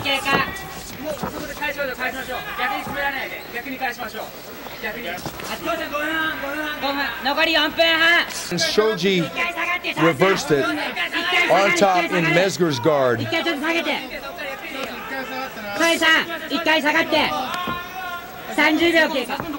Quadros and Bas discuss Mezger's leg guards, with Quadros thinking it's merely to identify himself as a former king of Pancrase. In Pancrase, you have to wear those leg guards. We cross the ring and head to the corner with about one and a half minutes having been spent in this tie up position. Shoji briefly breaks away and Mezger tries to kick him as he does. There's a side kick by Mezger. We tie up again and then break, then tie up again in the corner. Shoji has a body lock slash double underhooks, and he begins to control Mezger, but then he loses it and Mes- Mezger regains power position. Not much to write about here as there is not much activity in this position. There's a couple of knees by both men, then Mezger lets go of Shoji and Shoji swings away. Shoji really looking fat here. Jesus, yeah. This is a bad sign for me. He must not have much discipline, and perhaps he even thinks he doesn't need to be in shape to fight in Pride. Well, I mean, Shoji did well. a couple prides. You know, he he, he, he he showed up to the fights and everything. It's just I don't know what happened between then and now. It's it's completely up. It's like yeah, he just gave up. He just he said fuck it. It's just annoying seeing someone with potential just fucking give it up. Right. There's a big leg kick by Shoji. Shots of Caol Uno, who again was a popular fighter of the time, but he would never step foot in the Pride ring. Still no response to my tweet at Caol on why he never fought in Pride. We're tied up in the corner once again, and there is some body shots by both fighters. They separate, and Mezger hits Shoji with a left and then throws a kick that doesn't connect. At the five minute mark, Mezger lunges in with a left that misses. Shoji with a roundhouse low kick, Mezger seizes an opening and bear hugs him from behind. They hit the ropes and Shoji, the fat fuck, seizes opportunity to take a rest, laying on the middle rope. Mezger pulls Shoji away, lifts him, and then plants him down on the mat. But Shoji manages to get back up with Mezger still stuck on him, and we're back to the corner. This is a comment from Bas. I would just go wang wang wang right now. Let's go. I would just go wang, wang, wang right now. Let's go. What the fuck is wang? Why is he saying wangs to mimic a punch? I don't I don't know. Oh, I, I- oh you know wait. what? You know what? I, I think I know. Um, and it's part of maybe his douchebag persona for guy. Every time he does anything, it sounds like a fucking like piston air releasing. It's like psst, psst, psst. every fucking move he does, every punch he throws. psst. I think Guy would be better served if he underhooked, broke the clinch, stood back, waited patiently in the middle of the ring, and used. Str- Every time he charges. psst. every time he goes to fucking take a breath. psst. Shoji reverses the position and gets double underhooks, but he loses the position with when he tries to muscle Mezger around. Mezger causes a separation with a knee, but doesn't really hit very clean. At the seven minute mark, Mezger weighs in with a straight kick, then jab, and they tie up. They fight for position along the ropes and wind up back in the corner. Knees and body shots by Mezger causes Shoji to escape. A knee on the exit by Mezger, Shoji swings and misses, then another kick by Mezger, which misses. Mezger rushes in with a punch, and we are back to being tied up in the corner. This motherfucker Mezger and his love of the corner. Fucking terrible. He's looking awful. Quadros questions Bas on the style of Mezger's kicks, wanting to know if they are Muay Thai or karate based. Kicking wise, stylistically, is Mes- Mezger's kicking is more of a karate kick or a Muay Thai kick? Uh, karate kick. Definitely karate style. Yeah, he's extending the leg a lot, Yeah, which is not Muay Thai. Because Muay Thai, you're usually gonna be striking if you can with the knee. And I'll say this Quadros isn't this stupid. He's merely trying to fill the air with conversation because he knows those are karate based kicks. Fuck, I know they're karate based. That's how you know that people fucking know. yes. And by the way, Bas replies, they're karate. The fighters separate. Mezger delivers a left and right, though neither really hit. Last one minute of the round. Mezger seems to nod at Shoji as to say, yeah, let's tie up. And so, that's what they do. And then Shoji knees him right in the Nathan's hot dog. No, no stopping though, so they just continue to fight through the foul. Mezger with a left, right, left, and they separate. Finally, Mezger opens up more with a left kick, then grazes Shoji's head with a left punch before finding a home for his right uppercut. Mezger follows a retreating Shoji, throws a right that is blocked, then tries to tackle Shoji just as the bell rings, ending round one. Quadros and Bas feel as though the first round went to Mezger. Round two! Sidekick by Mezger. They grab each other, and it appears that Mezger fails at a trip, and Shoji manages to fall down on top of Mezger. Shoji is in Mezger's guard. Shoji with a chin strike to the solar plexus, as quipped by our commentators. I think Shoji pops it out. Shoji uh, uses a chin strike. to the solar plexus. Shoji with a few rights, then he uncorks with a few lefts and rights to Mezger's head. The fighters conveniently move out of the corner themselves with no need for the refs. Mezger rolls to the side, perhaps for Shoji's arm. Shoji pulls away and gets to his feet, sending a right punch down onto Mezger. Mezger pushes Shoji away and then stands himself. The fighters circle. Mezger moves in with a right to the body, right to the head, and then a left. I mean, I will say this: Guy is a really good fighter, and and I, I had never seen him fight before. Mm-hmm. But you know, with the record that you're telling me, he's fucking clearly talented. Mm-hmm. He's landed a good a lot of strikes, but I'm baffled. I'm I'm, I'm conflicted because I want to cheer for him because he's doing amazing, and Shoji doesn't deserve to be cheered. But he looks so much like a douche. I'm like, should I should I cheer for the douche? Isn't this what shouldn't happen in the movies? he does look like he could star in an 80s uh, snowboarding or, or Well, ski resort movie. And I'm, and I'm gonna spoil it a little bit later. I have this note for a little bit later, but I figured now should be the time I bring it up. Bas makes the comment about how he makes the kick like Karate Kid style, and Oh. I, at that moment I made the comment. I'm like, if Guy isn't Karate Kid, he's not the Karate Kid. He's in fucking. He's part of the Cobra Kai Yeah. school because he's a fucking douche.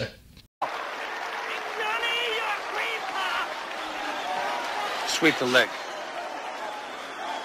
Mezger grabs Shoji, and though Shoji tries to fight him off, we end up tied up and going towards the corner. Though Shoji slips away, momentarily getting Mezger's back, but Mezger turns out of it. Shoji tries to punch Mezger as Mezger kicks at Shoji. Tie up again, and we're back to the corner with Mezger in control. Ref stoppage to separate the fighters. About fucking time. After the restart, Shoji runs forward with both hands extended, attempting some type of attack, then sends a right punch at Mezger, though it doesn't do a whole lot. Mezger walks Shoji down towards the corner, throws a left, then right hook, and then ties up with Shoji.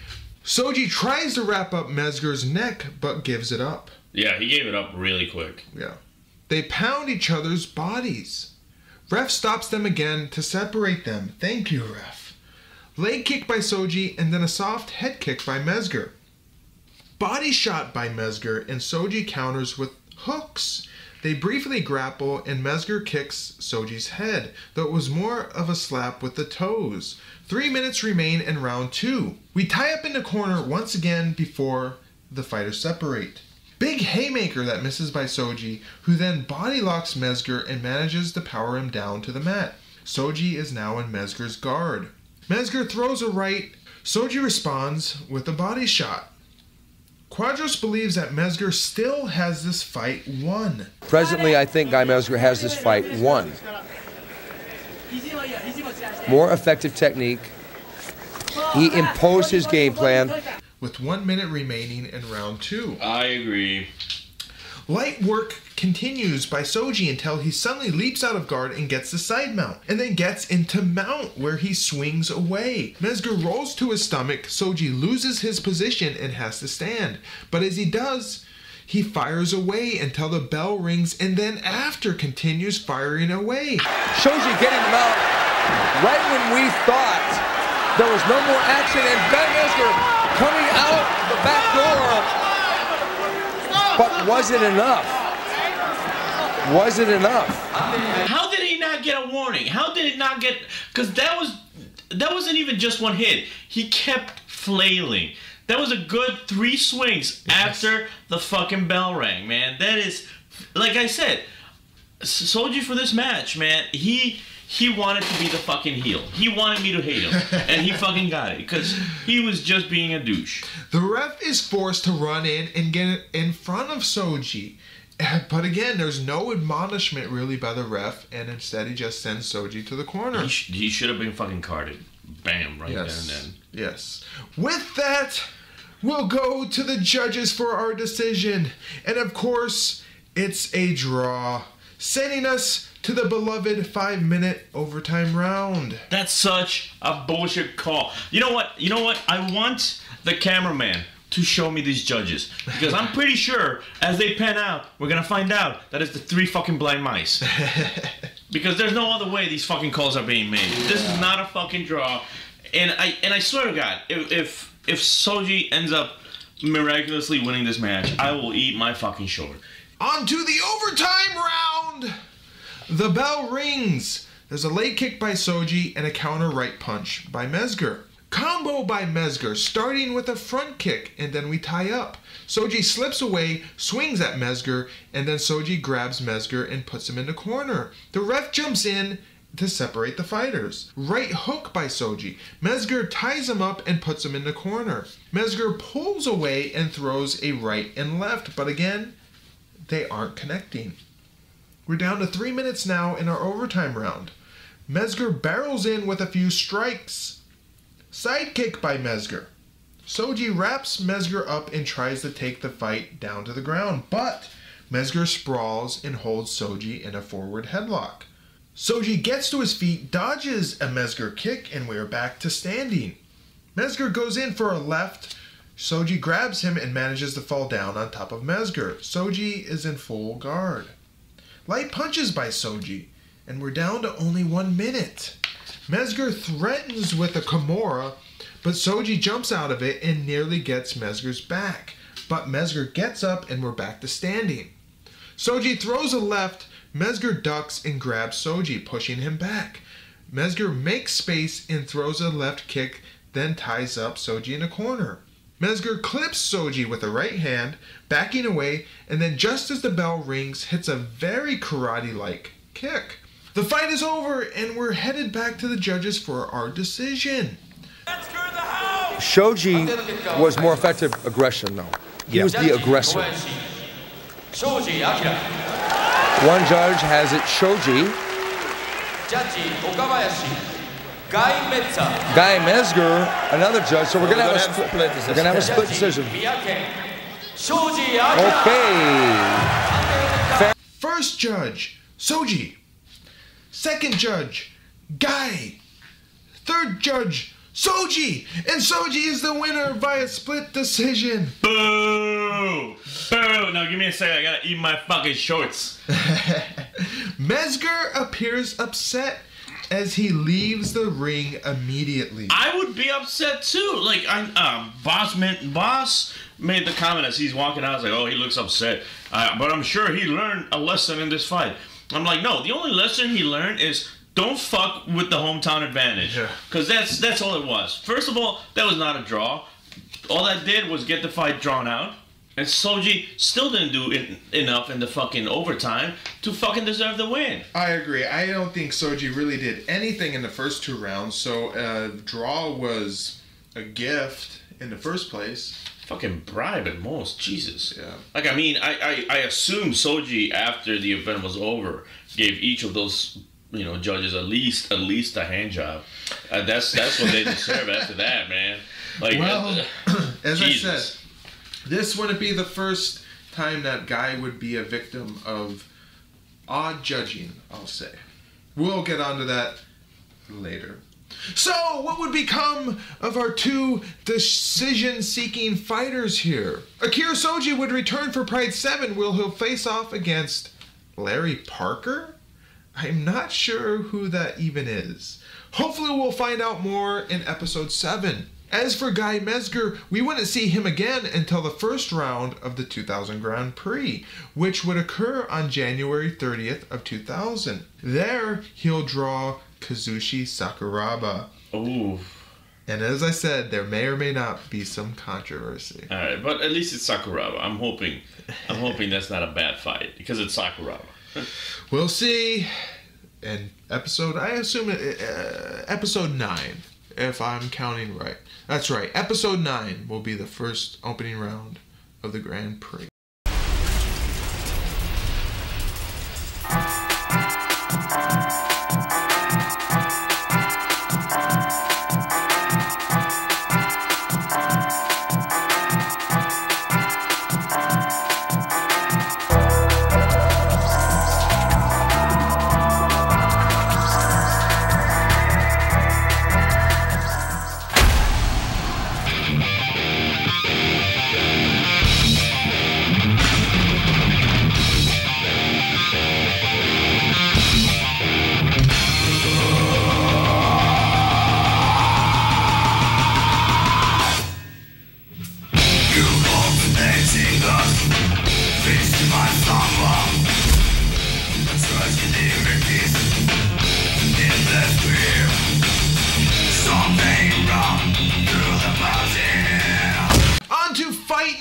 Six of the evening, which sees Naoya Ogawa from Japan, who's listed at 6'3, was 253 pounds and was 31 years old at the time. Ogawa's MMA record as of this fight was 1 and 0. He's facing off against a returning Gary Big Daddy Goodridge. Woo! Yeah! One of our faves, who's listed at 6'3, was 240 pounds and was 33 years old at the time. Goodridge's MMA record as of this fight was 9 and 7. Big Daddy is back after a short exodus where during that time he competed at UFC 19, defeating his opponent Andre Roberts in only 43 seconds via submission to punches. I mean, every time I see Gary Goodridge just show up to the ring, it's like, holy fuck. You know I, I don't. I don't want to be ag- ag- against those fists. Yeah, no, there's gonna be fireworks. Gary also took up kickboxing during this time, making his debut at K1 Revenge 99, where he faced off against the man known only as Musashi. That's right, he's a single name, Musashi. Actually, he's also known as Akio Mori, his given name, which I think is a cooler name. Akio is like one of the coolest Japanese names I can think of. Akio. I mean, Mori, pretty cool. Like Yeah. Memento Mori. So I don't know why he doesn't just stick with Akio Mori. It's a badass name. Big Daddy would be disqualified after he kneed Musashi in the gonads, in which Musashi was unable to recover and continue fighting. Wait, they can disqualify you for that? I mean, in the heat of the If moment. the if the fighter can't continue, yeah. Oh Jesus! I didn't. I never knew that. I mean, like in, in the heat of a moment of a, in a battle, I you know mistakes have to be made. It's a great fight, and thankfully, I do have some clips of it here. Big Daddy would maintain an active participation in K1 from this point on alongside his MMA career. And there is a very, very interesting story, I guess you could say, involving the damage that Big Daddy would take from his K1 career. But we'll cover that more in detail later.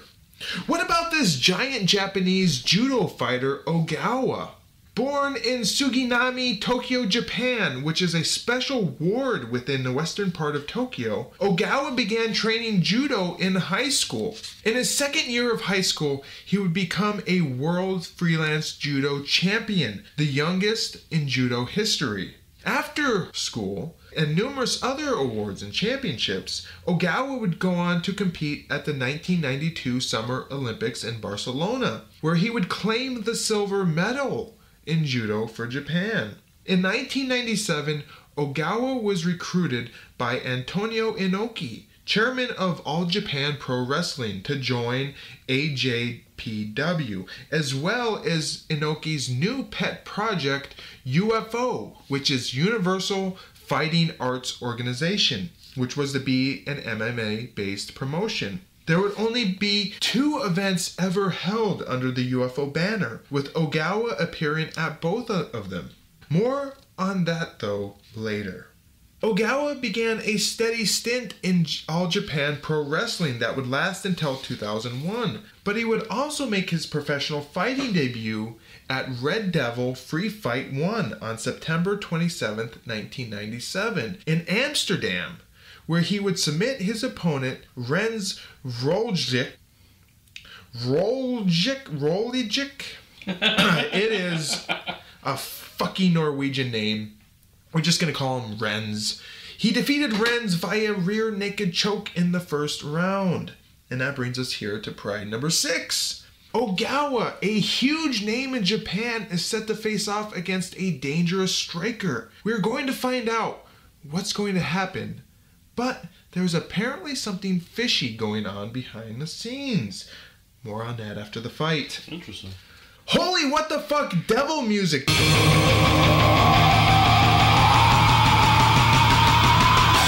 During the fighter title card, I'm not sure what's going on here, but wherever they get these fucking music from for the title cards and the uh, the pre-fight intros is very very weird. Some of it's great, some of it's not. Goodridge is sporting a very evil looking goatee, but he is looking very sharp. looks as though he's added a bit of weight. During the stare down, there is a shocking size difference in terms of height. Ogawa looks like he's a good three inches taller than Goodridge, and I'm pretty sure Ogawa is actually 6'4, maybe even 6'5. And perhaps Goodridge is only 6 foot. Um, again, this goes back to accurate fighter measurements during the title cards. I don't know if they were just going by whatever the fighters told them or if they were doing actual measurements. We'll Maybe because we will never know. Anyway, let's get on to round one. The fighters meet and Goodridge immediately tees off, starting off with a left, then two clubbing right hooks. Ogawa ducks as Goodridge continues to pummel him.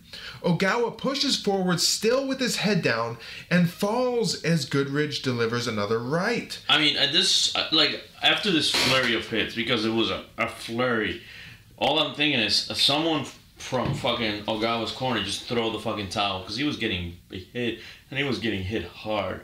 So I, I honestly I give props to Ogawa for for surviving that barrage. Absolutely. Ogawa stands, throws a half-hearted kick, and Goodridge whiffs with a huge uppercut that have, would have killed Ogawa had it connected.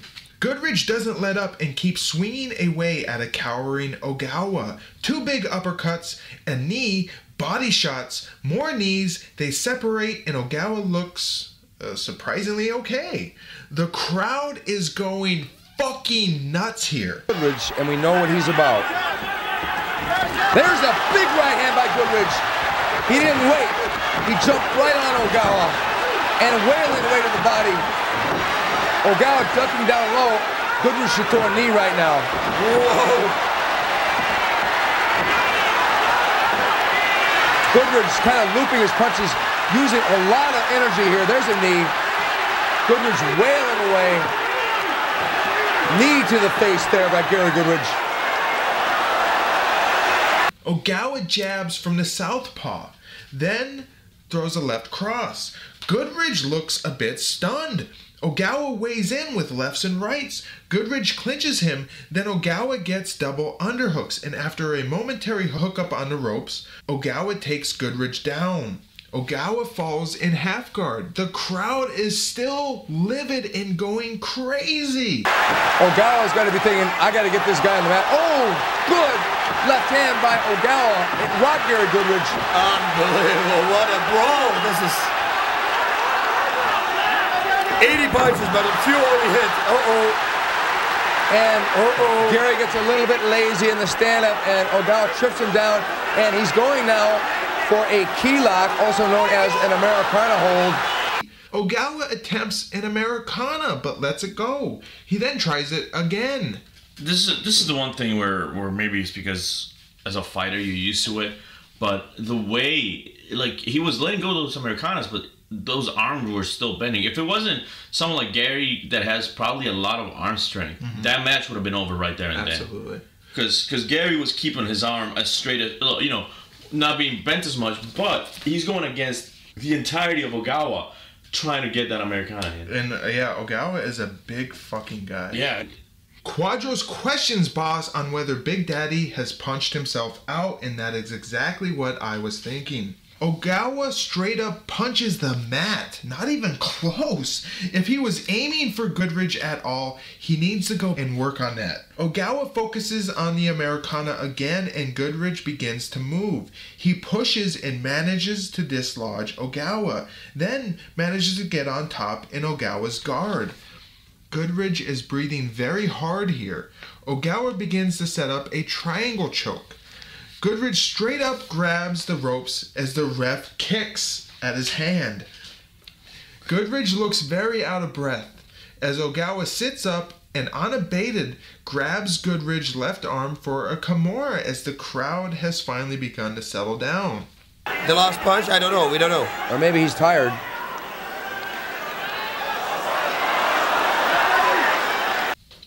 Goodridge must be bleeding as he is leaving a streak of blood on Ogawa's body. One of Ogawa's punches must have clipped him pretty good. Goodridge grabs Ogawa's leg, and I have a sudden flashback to his fight against Marco Ruas. Goodridge can't be thinking of a leg lock. Goodridge stands up and instead of stomping on the head of his foe, which is right there, perhaps he didn't realize he could. And again, we go back to the one. Uh, The rules are way too vague. That's the main problem. he man. might have been thinking back to the one pride where he asked if he could kick face. Yeah, And yeah. he was told no. Exactly, but that, that's what I'm saying is is the rules change too often. They're too vague because honestly, uh, why uh, why don't you inform your fighters of the rules before the fight starts? Yeah, exactly. You exactly. know, or, or at least the fighters' managers, and then it's on the managers to fucking pass it on, whatever. But nobody fucking knows the rules. I agree. Goodridge sets up a knee bar attempt. Why, Goodridge? Why? Quadros sounds very dubious of this submission attempt by Goodridge, despite the fact that Goodridge nearly has it locked on. Ogawa manages to sit up and escape, and now Goodridge is back on the bottom. Ogawa gets the side control and looks for the Americana once again. Goodridge manages to pull his arm free and then gets to his knees. Then he rolls to his back again. Ogawa is back in side control. Having both of Goodridge's arms trapped, Ogawa straight up smashes him in the face twice, with no reaction coming from Goodridge. Goodridge does manage to get his arms free. Goodridge tries to fight Ogawa off, once again getting to his knees, but Ogawa takes his back. Lefts by Ogawa to a Goodridge's head, and then he attempts to get Goodridge in a side crucifix, but Goodridge smartly rolls away. Now we're in the corner, and Ogawa still has Goodridge's back. Hammer fist by Ogawa. The crowd rises again. Five minutes left in round one, and so far, this has been a very exciting fight. Quadros thinks that Goodridge is running on empty, and Bas agrees. I think Gary's running on empty right about now. It sure looked like. Goodridge rolls to his back and gets half guard on Ogawa. Ogawa, though, is able to get full mount. Ogawa flings lefts and rights at Goodridge's head. Then Ogawa goes for an Americana once again. Trapped against the ropes, Ogawa sits on top of Goodridge and punches his face. Goodridge manages to push Ogawa off him, but the ropes impede his attempt to stand, and Ogawa is able to get back on top in side control. There's three minutes left in round one. Ogawa locks in an Americana, and somehow Goodridge musters up the energy to turn over to his knees, but Ogawa simply takes his back. Goodridge rolls again, and now Ogawa has him mounted. Punches by Ogawa, who is breathing hard himself now. The crowd rises for each punch, almost like a pro wrestling match.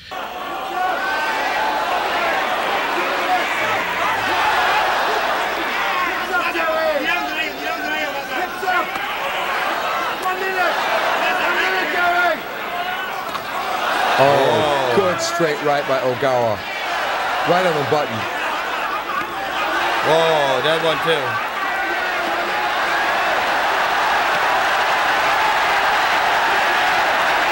The crowd erupts after each successive punch by Ogawa. This crowd is fucking nuts for this fight, and I absolutely love it. Hey man, like I said, it's a Daddy Goodridge fight. I'm always I'm always glad to see him because it's not gonna go to judge's decision. Ogawa looks to set up an armbar, but he is not in the right position at all. Goodridge manages to get Ogawa off and into side mount instead of full mount.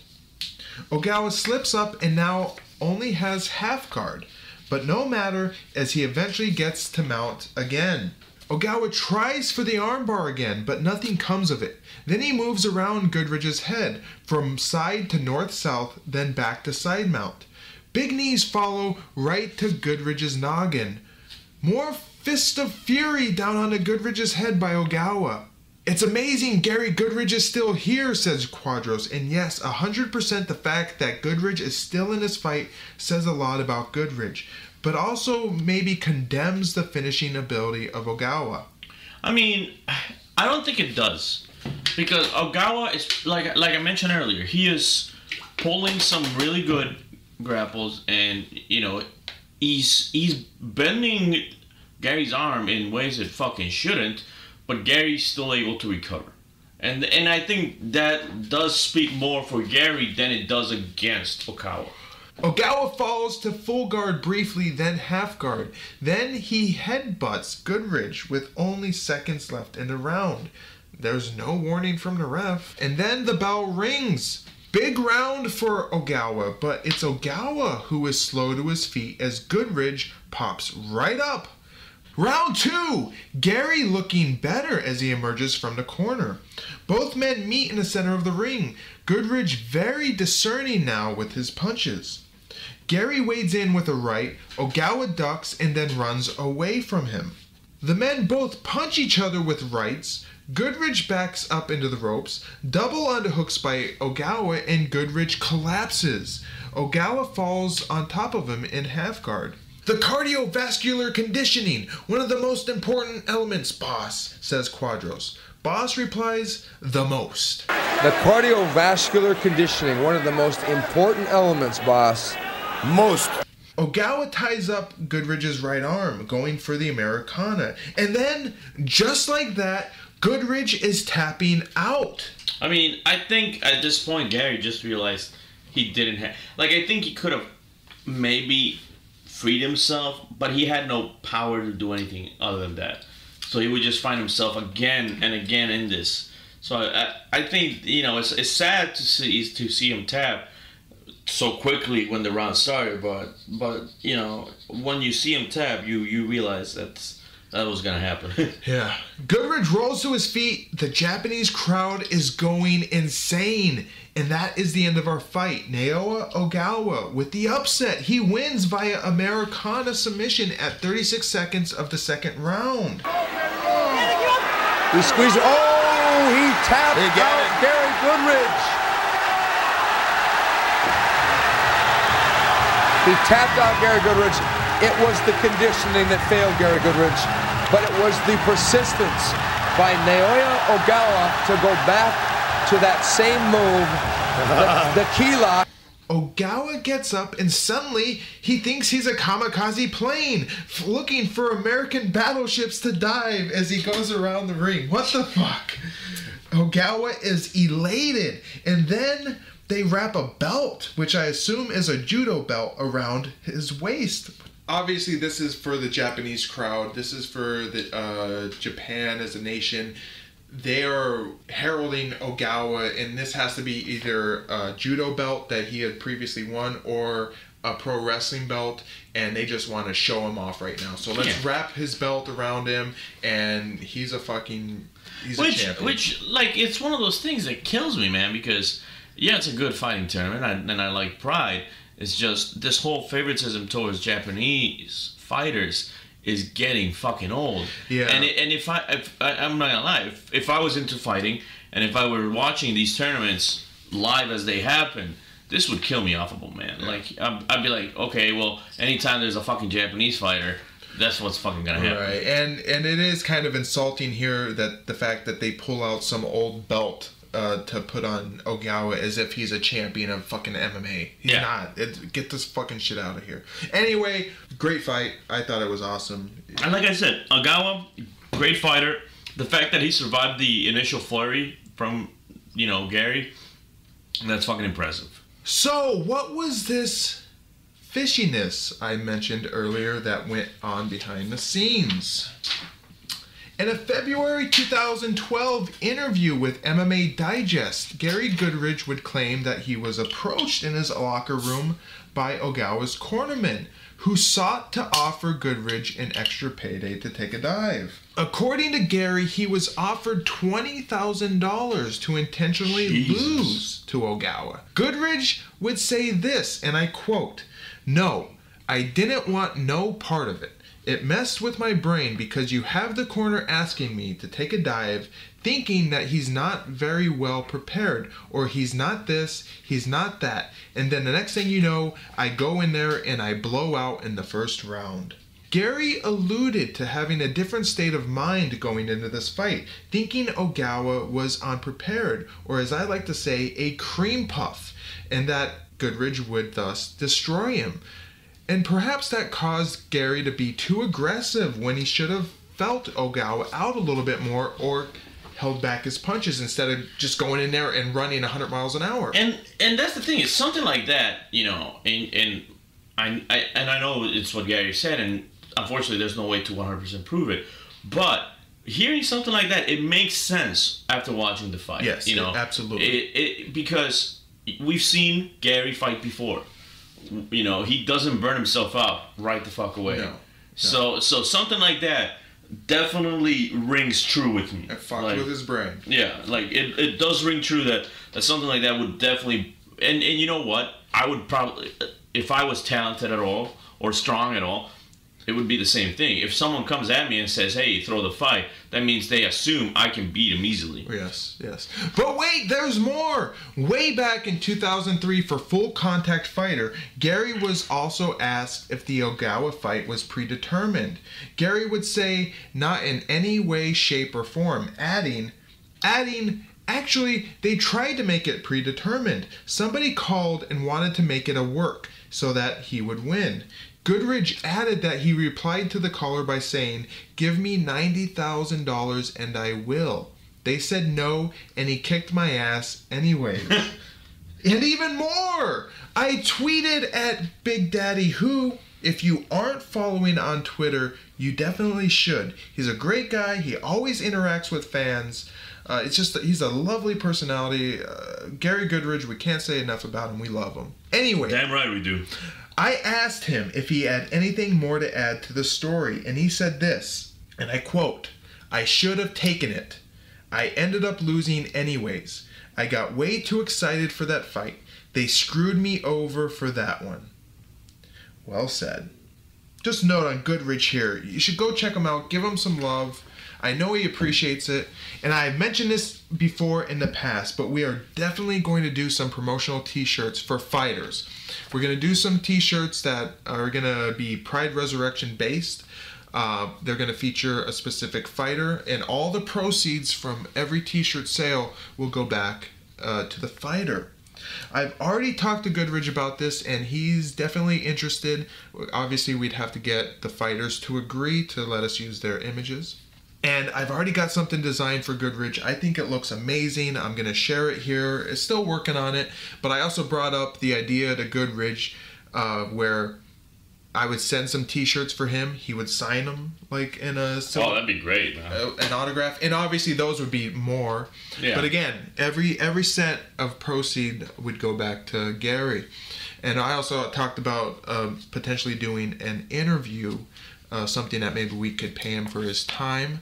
Uh, we'll kind of talk about this more later, but maybe we could start. um a Patreon just to raise money for something like Yeah, that. yeah, just- Again, we're, we're not going to be bringing in money to, to buy booze for us, although that would be nice. Oh man, I, Lo- lo- all the booze I drink for this, but that's the thing is this is this is a thing we do out of out of just wanting to do. it. Right, right. We're not we're not gonna be making money if we can help someone else, and fuck if we're gonna be helping Gary.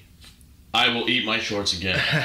right and i gotta say this that we need to you know appreciate the fighters who make uh, this sport great you know some of the fighters that maybe fought before that have been kind of left in the past and kind of forgotten about even though they helped build this sport like gary goodridge we need to take care of them we need to make sure that they know that um, people appreciate all their their work they put their bodies and their minds on oh yeah, man, and it's, and it's fucking brutal when you watch this. So, what would become of our two very large brutes here? Naoya Ogawa wouldn't return to Pride until Pride 11, Battle of the Rising Sun, which would take place on Halloween night 2001. That's that's really weird. Calling something the rising sun on a holiday that's known for Yes. being at nighttime. Jesus Christ, Japan. And between then and, and Pride 6 here, Ogawa would only fight once at the first UFO event, which was UFO Europe Free Fight Gala, which took place on November 28, 1999. As for Big Daddy, he would not return until Pride 8, where he would face Tom Erickson, former two-time NCAA Division I collegiate wrestling champion. In the meantime, Big Daddy would continue his endeavor in K1, fighting at K1 Spirits 99 on August 22nd of 1999. We'll cover more on that event in Pride Resurrection episode 8.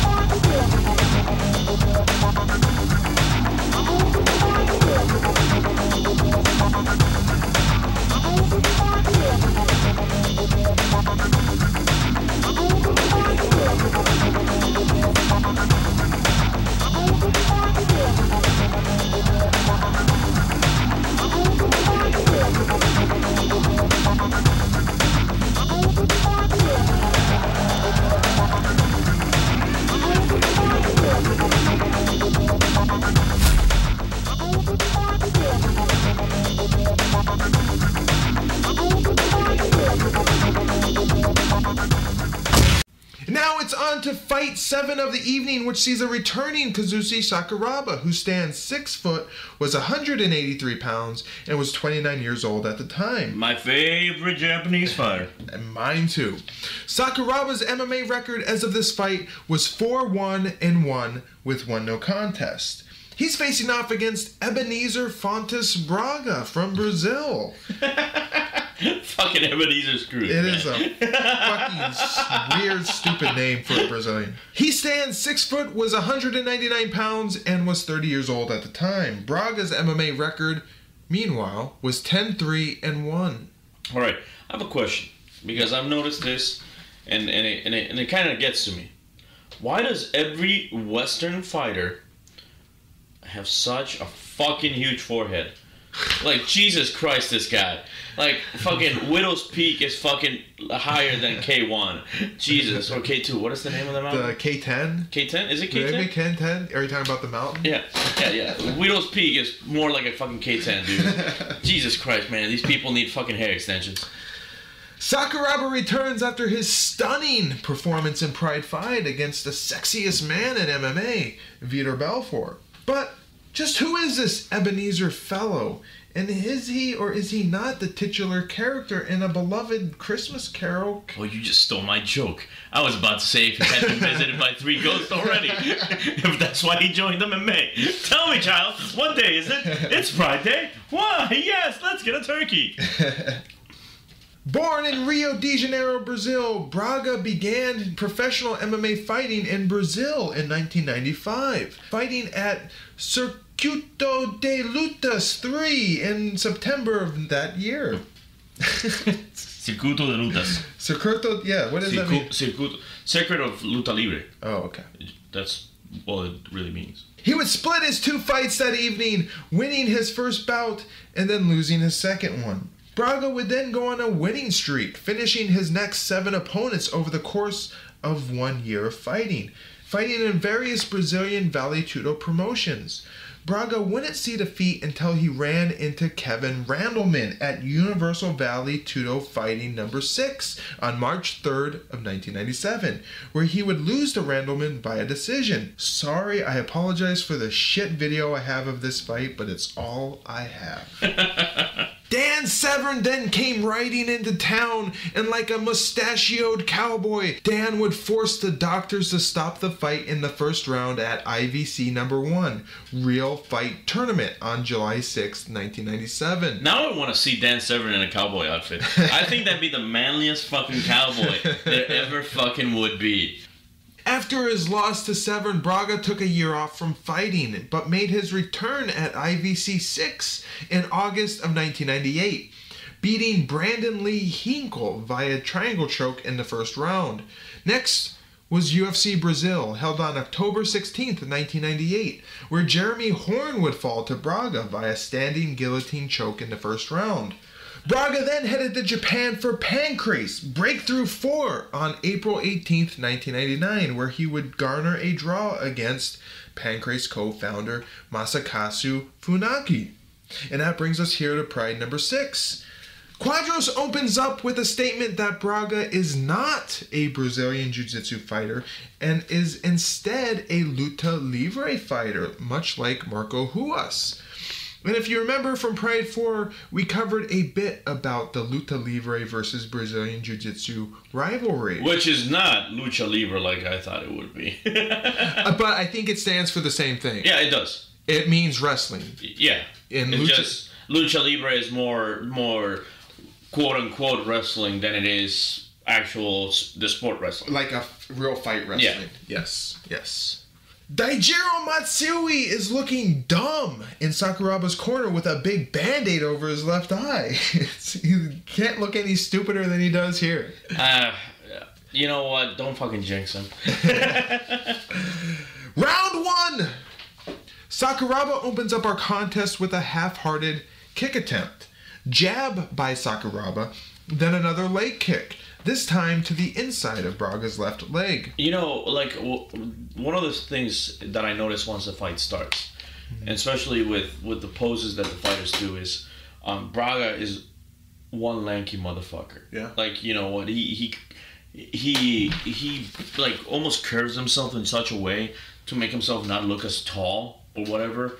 But then he just he has a hell of a fucking reach. The men can join after punch attempts by both, and Braga winds up behind Sakuraba. He throws a knee from the side, and while in the ropes, Sakuraba attacks the arm.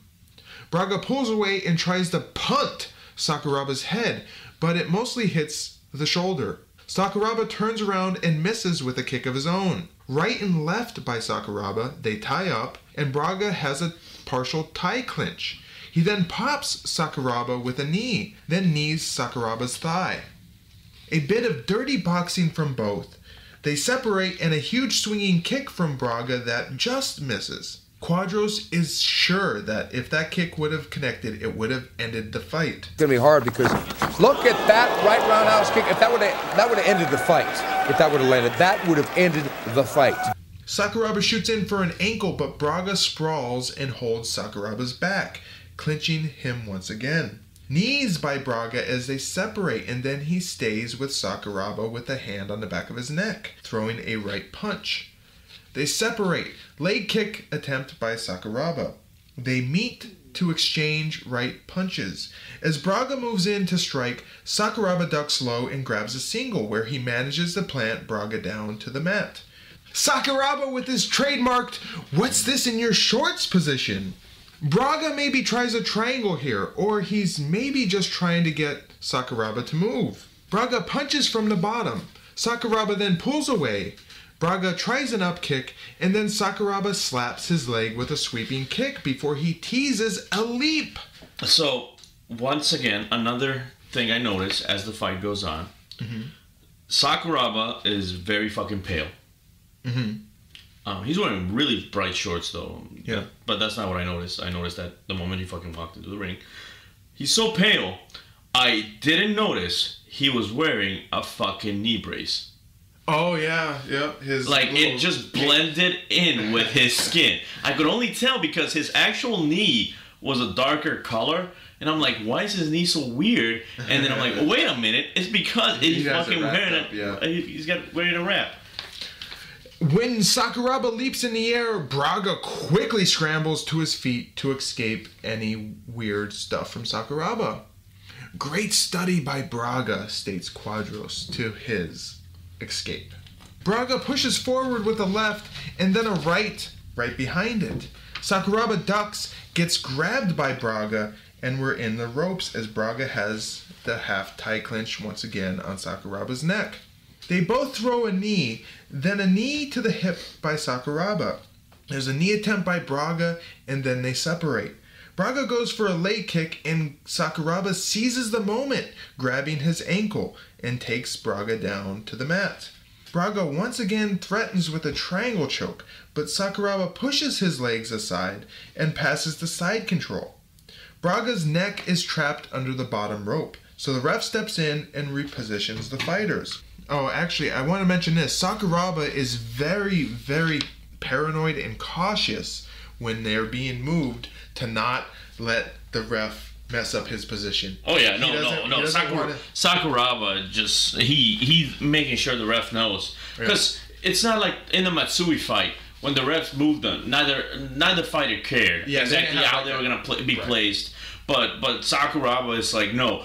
Exactly how I fucking left this Yeah. bastard is exactly how I'm gonna be straddling him now. Right. On the restart, Braga manages to improve his position to half guard, just as the five minute mark comes. Sakuraba smothers Braga and lays into the side of his head with a left punch. Dead silence in the crowd, and all you can hear is the fighters breathing. This Japanese crowd is very, very interested in this fight. Braga has sort of a different style on the ground, a different timing. Body and head work by Sakuraba. Sakuraba nearly gets mount before he shoots over to side control. Braga rolls to his stomach and Sakuraba takes his back. Sakuraba gets one leg into his body, rolls him down, and then looks for a rear naked choke before Braga manages to escape and stand. Slapping leg kick by Sakuraba. They trade punches with a few extra thrown by Sakuraba. Three minutes now remains in the first round. I mean, this is why I like Sakuraba because I, I I will repeat what Bas said for someone else, but it actually applies here. Sakuraba does not know how to do a boring fight. Mm. He he will fight there, and I know we mentioned it before, where he rises to the level of the fighters and stuff like that. Yeah. And and in this fight, it, it shows, man. Like Sakuraba is really fucking good. Sakuraba shoots for the ankle again and he gets Braga down, but Braga has scissored Sakuraba's head. Scissor me thirst. But he lets it go as Sakuraba is now in side control. Braga is able to get Sakuraba back towards his own feet and Braga tries some up kicks. Braga's bottom eyelid is bleeding and I'm not sure how that occurred. But it's bleeding fucking bad. Yes. It's not, it's not like a, a little drip, it is. Yeah, it's fucking flowing, man. Sakuraba punches Braga in the face a couple times. Quadros with a bit of misinformation here. He recalls both of Braga's only two losses one to Kevin Randleman and then one to Dan. Up until now, Ebenezer Fontes Braga has only suffered two losses, and one was at the hands uh, of Kevin Randleman from Mark Coleman's gym, the Hammer House, and that was by decision, and another was uh, via Dan Henderson. Henderson. Wrong. It's Dan Severn. Our man, the Dan. How can you mix these two up? One has a beautiful mustache The most beautiful mustache I've ever seen. and the other does not. I mean, Jesus Christ. I'm pretty sure that mustache won a Nobel Peace Prize. Nice left by Sakuraba. Then he sneaks in another and then switches to side guard. Elbow to the side by Sakuraba, then a punch to the face. Only one minute left in round one. Sakuraba then springs his trap, hammering down three punches, and as Braga goes to defend, Sakuraba grabs the left arm of Braga. Sakuraba falls back, but Braga grabs his own hand to defend Sakuraba's armbar attempt. Sakuraba shortens up the armbar, and Braga tries a last ditch axe kick. But immediately after, Braga taps out. What? That that was so ridiculous. I'm so disappointed in Braga. He should have like I saw that axe kick and it and it hurt him. It hurt Sakuraba. Another axe kick, I think Sakuraba would have let go. And Sakuraba is thus the winner via submission at 9 minutes and 23 seconds of the first round. The crowd is absolutely elated. And Braga is in a lot of trouble right here, a whole world of trouble. Uh-oh. And Braga trying to axe kick, and Braga, Oh, he's got him. he got him. It was a crooked armbar, almost a shoulder lock. Braga tried to kick his way out, but no doing. Kazushi Sakuraba, he dealt with a really, really strong opponent And Ebony's in Ebenezer Fontes Braga. Sakuraba is once again the victor. What did you think about this fight? I mean, why the fuck is Sakuraba not the main event? Plain and fucking agree. simple. I you know what? I, I understand it's a pride event, so you want a Japanese fighter. It should be fucking Sakuraba. It should never be Takada. I've been saying this. Sakuraba should be the big star, but And I mean, other uh, I will, I will say this: out of every other Japanese fighter that we've had, Sakuraba just outperforms everyone else. Like, I will say this: after today's fights, after today's card, Matsui is a close second. But every everybody else is just Yeah, you could say the Fuckers. the rise of Matsui after one fight, it was amazing, but the fall of uh, Shoji. I- Shoji was fucking terrible, plain and fucking simple. I thought Sakuraba looked once again. He looked superb. Uh, And that's the thing is, is it shows what it's what a fighter that wants to train, a fighter that wants to improve themselves. he's very studied. He's very um, patient. He obviously knows where his strengths are, but he's not But that's the thing. afraid. is- He's not afraid of, of doing things that are outside of his. And that's of thing. He's, he's such a varied fighter because you know he he had good strikes, but at the same time he had great grapples. He's like a sponge. He's soaking up all this knowledge, and he's and he will get even better if you can believe that he gets even better. I uh, but that's the thing is I can. When it comes to Sakuraba, I can exact I can most definitely believe that he would get better. You tell me that anybody else will, I'm gonna call bullshit. So, what would become of our two world warriors here? Sakuraba would be back in action at Pride number 7, held only two months after Pride 6, where he'll face off against former UFC fighter and Oklahoma native Anthony Macias. As for Braga, he'd make an appearance at the 2000 Grand Prix opening round, where he'll draw Akira Shoji. We can't wait for the Grand Prix, and I'm telling you, it's going to be one of the best things ever once we get to the Grand Prix and then all the events that follow. It's like a totally different product. Can't wait for it. And we'll see you then, Braga. After the fight, Pancrase legend and at the time UFC middleweight champion Frank Shamrock appears in the ring.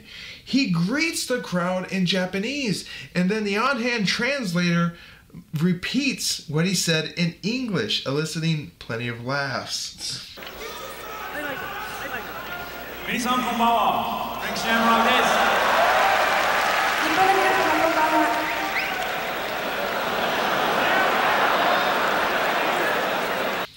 makes the statement that he wants to throw his hat into the ring and fight for Pride. He says Pride has the best fighters and he would like to fight Enson Inoue, Akira Shoji, and Sakuraba, who's still standing in the fucking ring. Did you hear that? I want to throw my hat in the ring and I want to fight in Pride. I think Pride has the best fighters in the world. It is the greatest ring in the world. え自分がプライドに参加したいという意思を表明するためにやってきました世界でも最も優れた選手たちと戦いたいですのでこの大会で戦いたい戦いたいと思っています And I'd like to say that uh, Pride has the best fighters, and I'd really like to fight uh, Mr. Enson Inoue, Mr. Shoji-san, and uh, Mr. Sakuraba. Why would you want to fight Shoji after today? I I, I don't know, man. That's, that, that gets me. Frank promises us when he fights, he'll fight with 100% of his heart and will never give up. Just a spoiler here. Much like Bas Rutten climbing into the ring and making wild claims about fighting for Pride, Frank Shamrock would never fight in Pride. He would never fight Inoue, he would never fight Shoji, and he would never fight Sakuraba. Thanks, Frank, you fucking asshole.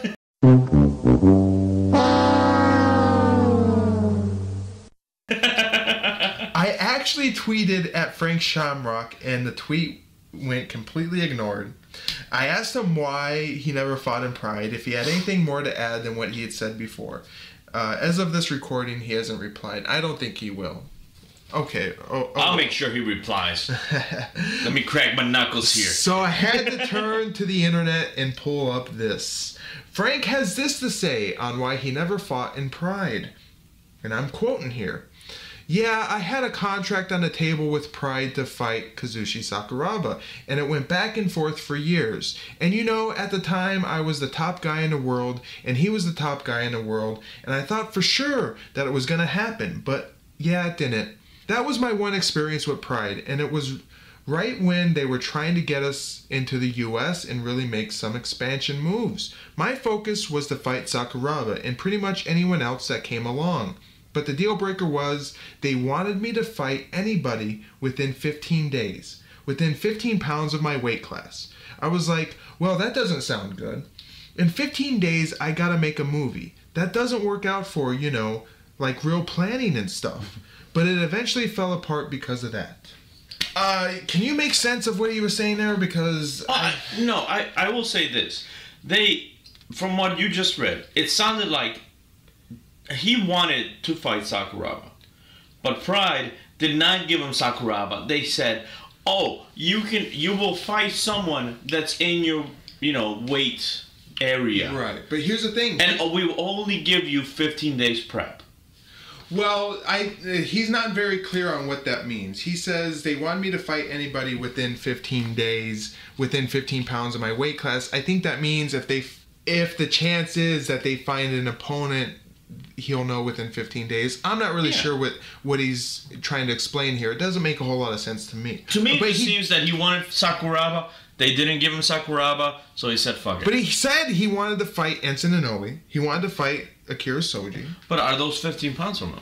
Yeah, see, I don't, I don't know. Uh, That's the that's the main part. The whole story doesn't make sense. I know Frank Shamrock. He is kind of a prima donna. Ah. Um, he, you know, he thinks he was God's gift to MMA. So I could see where maybe he wanted too much, or he made claims of of what was he expected from Pride, and maybe they just couldn't come together. Pride was known for that, where they would kind of stonewall. They wouldn't bend over backwards for. Fights. Yeah, yeah, and it, it's in the fucking name. It's pride. yeah.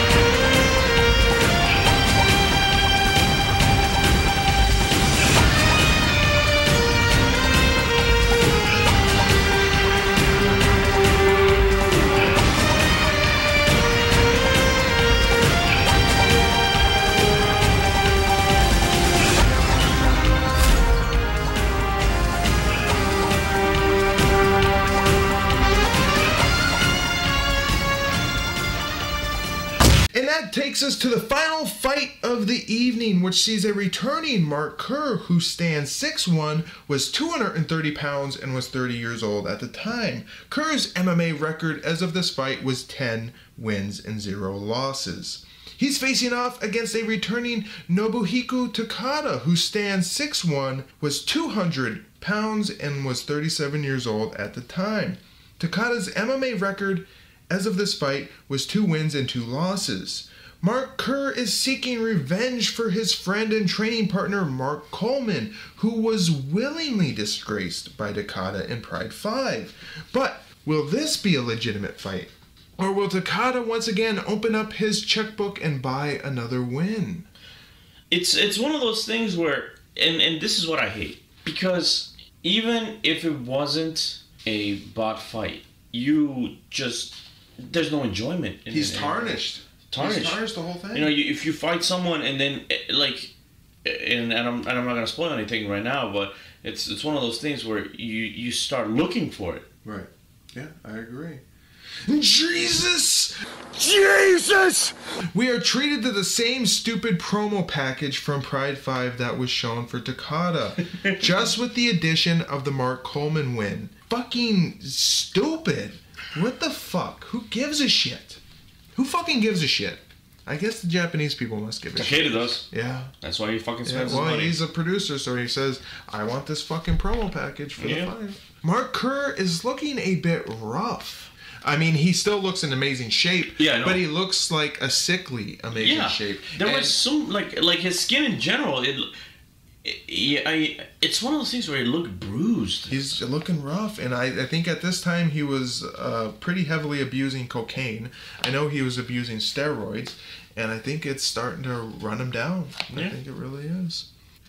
Anyway, let's get right into it. Round number one. LOL WTF BBQ. Takada rushes Mark Kerr. Takada, it's Mark fucking Kerr. What are you thinking? Did Takada do drugs before this fight? The crowd, though, seems to love it. And if I guess if you feel you have no chance of winning, you might as well just go in there and make it look good. Takada swings wildly at Kerr. Kerr merely ducks, grabs him around the waist, and has double underhooks. Okay, but here here's where I was. You know, I mentioned earlier that when when Takada's fighting, you you try to see where a fight could be set, Mm. and he just rushed Mark Kerr Yes, and you gotta with say- the most terrible looking oh, strikes there ever was. You gotta think the fix is in right there. Right there and then, Mark Kerr didn't knock him out. This fight is fixed. Right there. That that I I had that note. I'm like, it's like I, it's based on history, but those strikes should have been so easily countered, mm-hmm. and Mark Kerr did nothing. And at that point, I'm like, what? Am I am I looking at another fucking fixed fight? I'll, I'll cover this more in a minute. Quadros says a takedown must be coming, and Bas says imminent. Actually, he says eminent. But I think a takedown is imminent. Yeah, inevitable. Is that good when I say that? Yeah. And he confirms with what he said with Quadros was correct, saying, Was that right? Eminent? and Quadros says, Yes.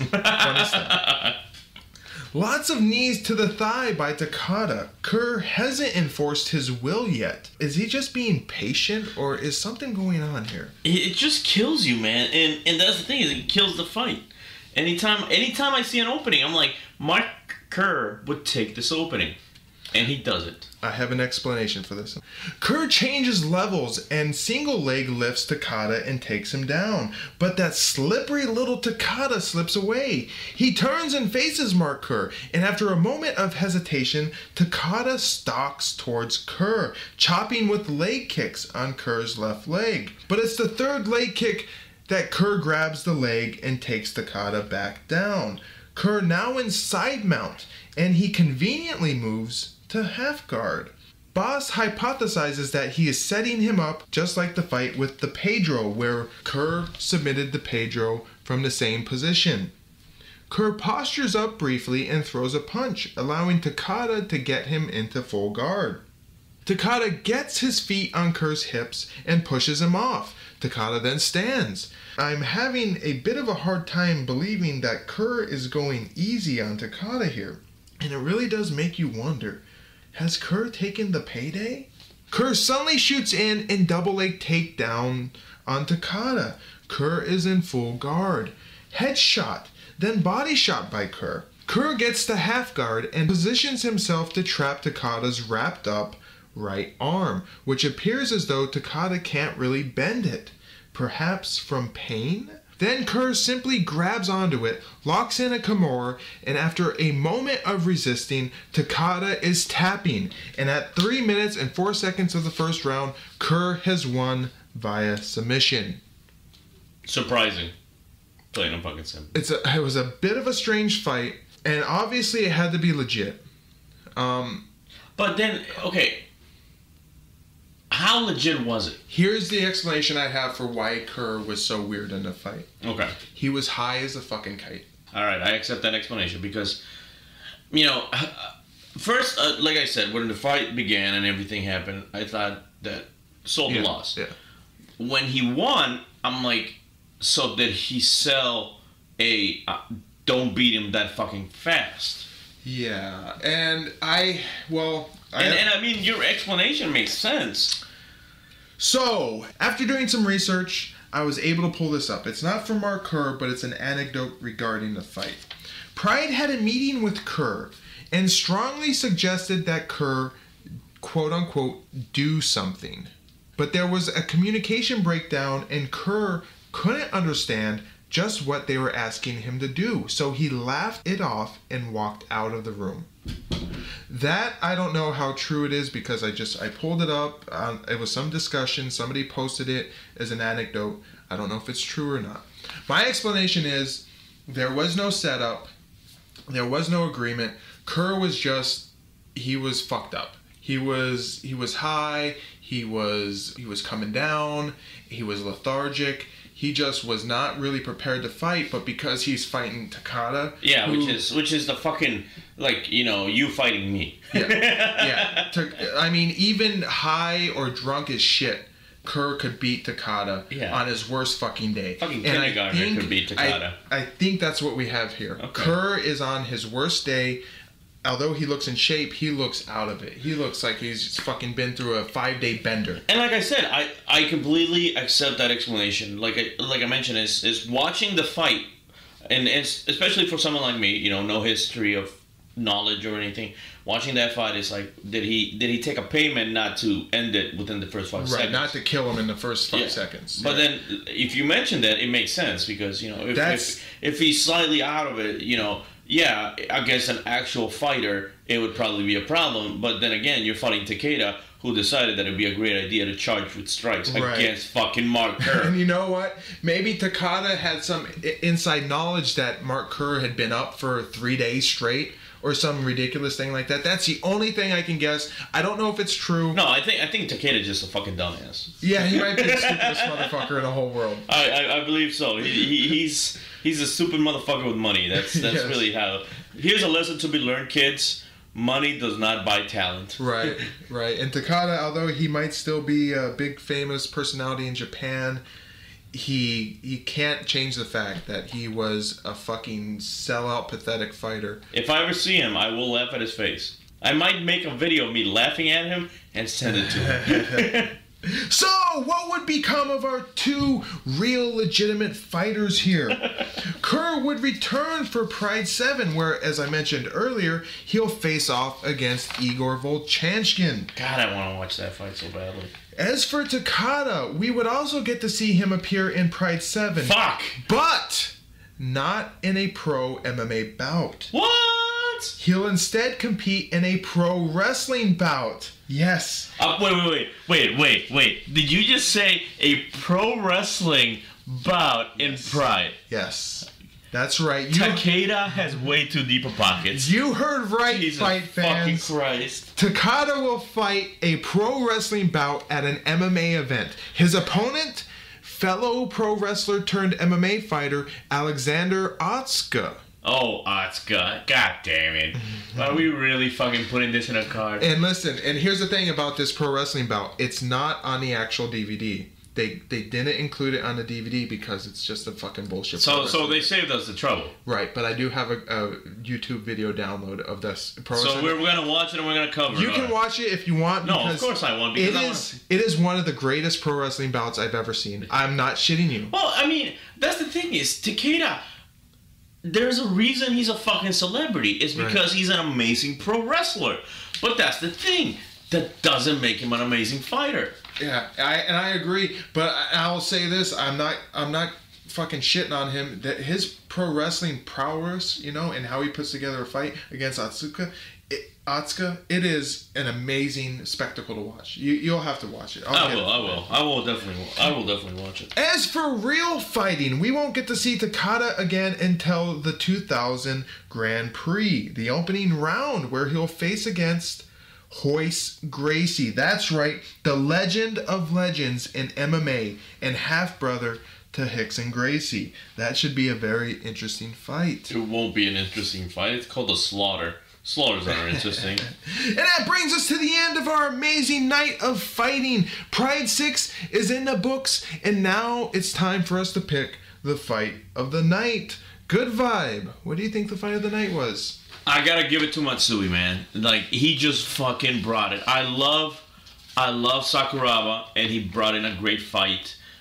I love Gary, and he, once again, great fight. But just the improvement that Matsui showed in that fight, the the spirit. Let's call let's call it what it is. The spirit that he showed for that fight makes it my favorite. This is a tough pick for me because there was a couple loser fights on the card, including including Shoji, uh, Igor's Yeah, fight. fuck Shoji. Um, but And fuck uh, Igor's opponent, Carlos. What's his name? uh, Ah, God, whatever. I fucking Yeah. it. I don't know. I, I haven't. Twisted Teas. I'm I'm down to my. I finished my second Twisted me here. Yeah, I It's just had very Los. Carlos. Uh, Ebenezer, or no, is it Carlos? No, it's Carlos something else. Balrog. I'm gonna call him Balrog. Barreto. Yeah, there we go, Barreto. Yeah. Um, but you had three really intriguing fights that were that were fucking great. You had Matsui, you had uh, Goodridge versus Ogawa, and you had Kazushi Sakuraba versus uh, Braga. And I, I'm gonna have to say the more intriguing fight to me, the best fight of the night for me is Gary Goodridge versus Ogawa, just because there was it felt like there was so much on the line. And that the crowd was so into it, they were crazy. And I know they were into the Matsui fight. Well, and but I, I, I will agree with you with the with the Gary Goodridge fight is Gary Goodridge is a very energetic fighter. Like you, like I said, when you when you see Gary Goodridge on a card, you know that it is never going to go to judge's decision. Not so with Matsui, people are more hesitant because he's had just hasn't a had a goddamn fucking Yeah. terrible history. But like I said, it's it's like I said, both that and the Sakuraba fight were both amazing fights. I'm glad I fucking watched them. You know, not like the fucking Shoji fight, he can suck a dick. but just the I I was so entertained by Matsui's spirit. Every time like the refs would break him up, Matsui would be ready. It's like I don't care how you got you set us up.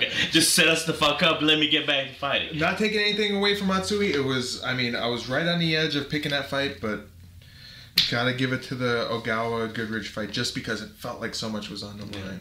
And that's a wrap on episode six. Wow, what a show! The best yet. We'll be back. Let me start back from the beginning.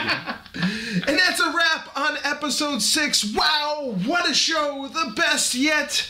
We'll be back in short order for Pride Fighting Championships number seven, which looks to be another exciting night of man on man fighting.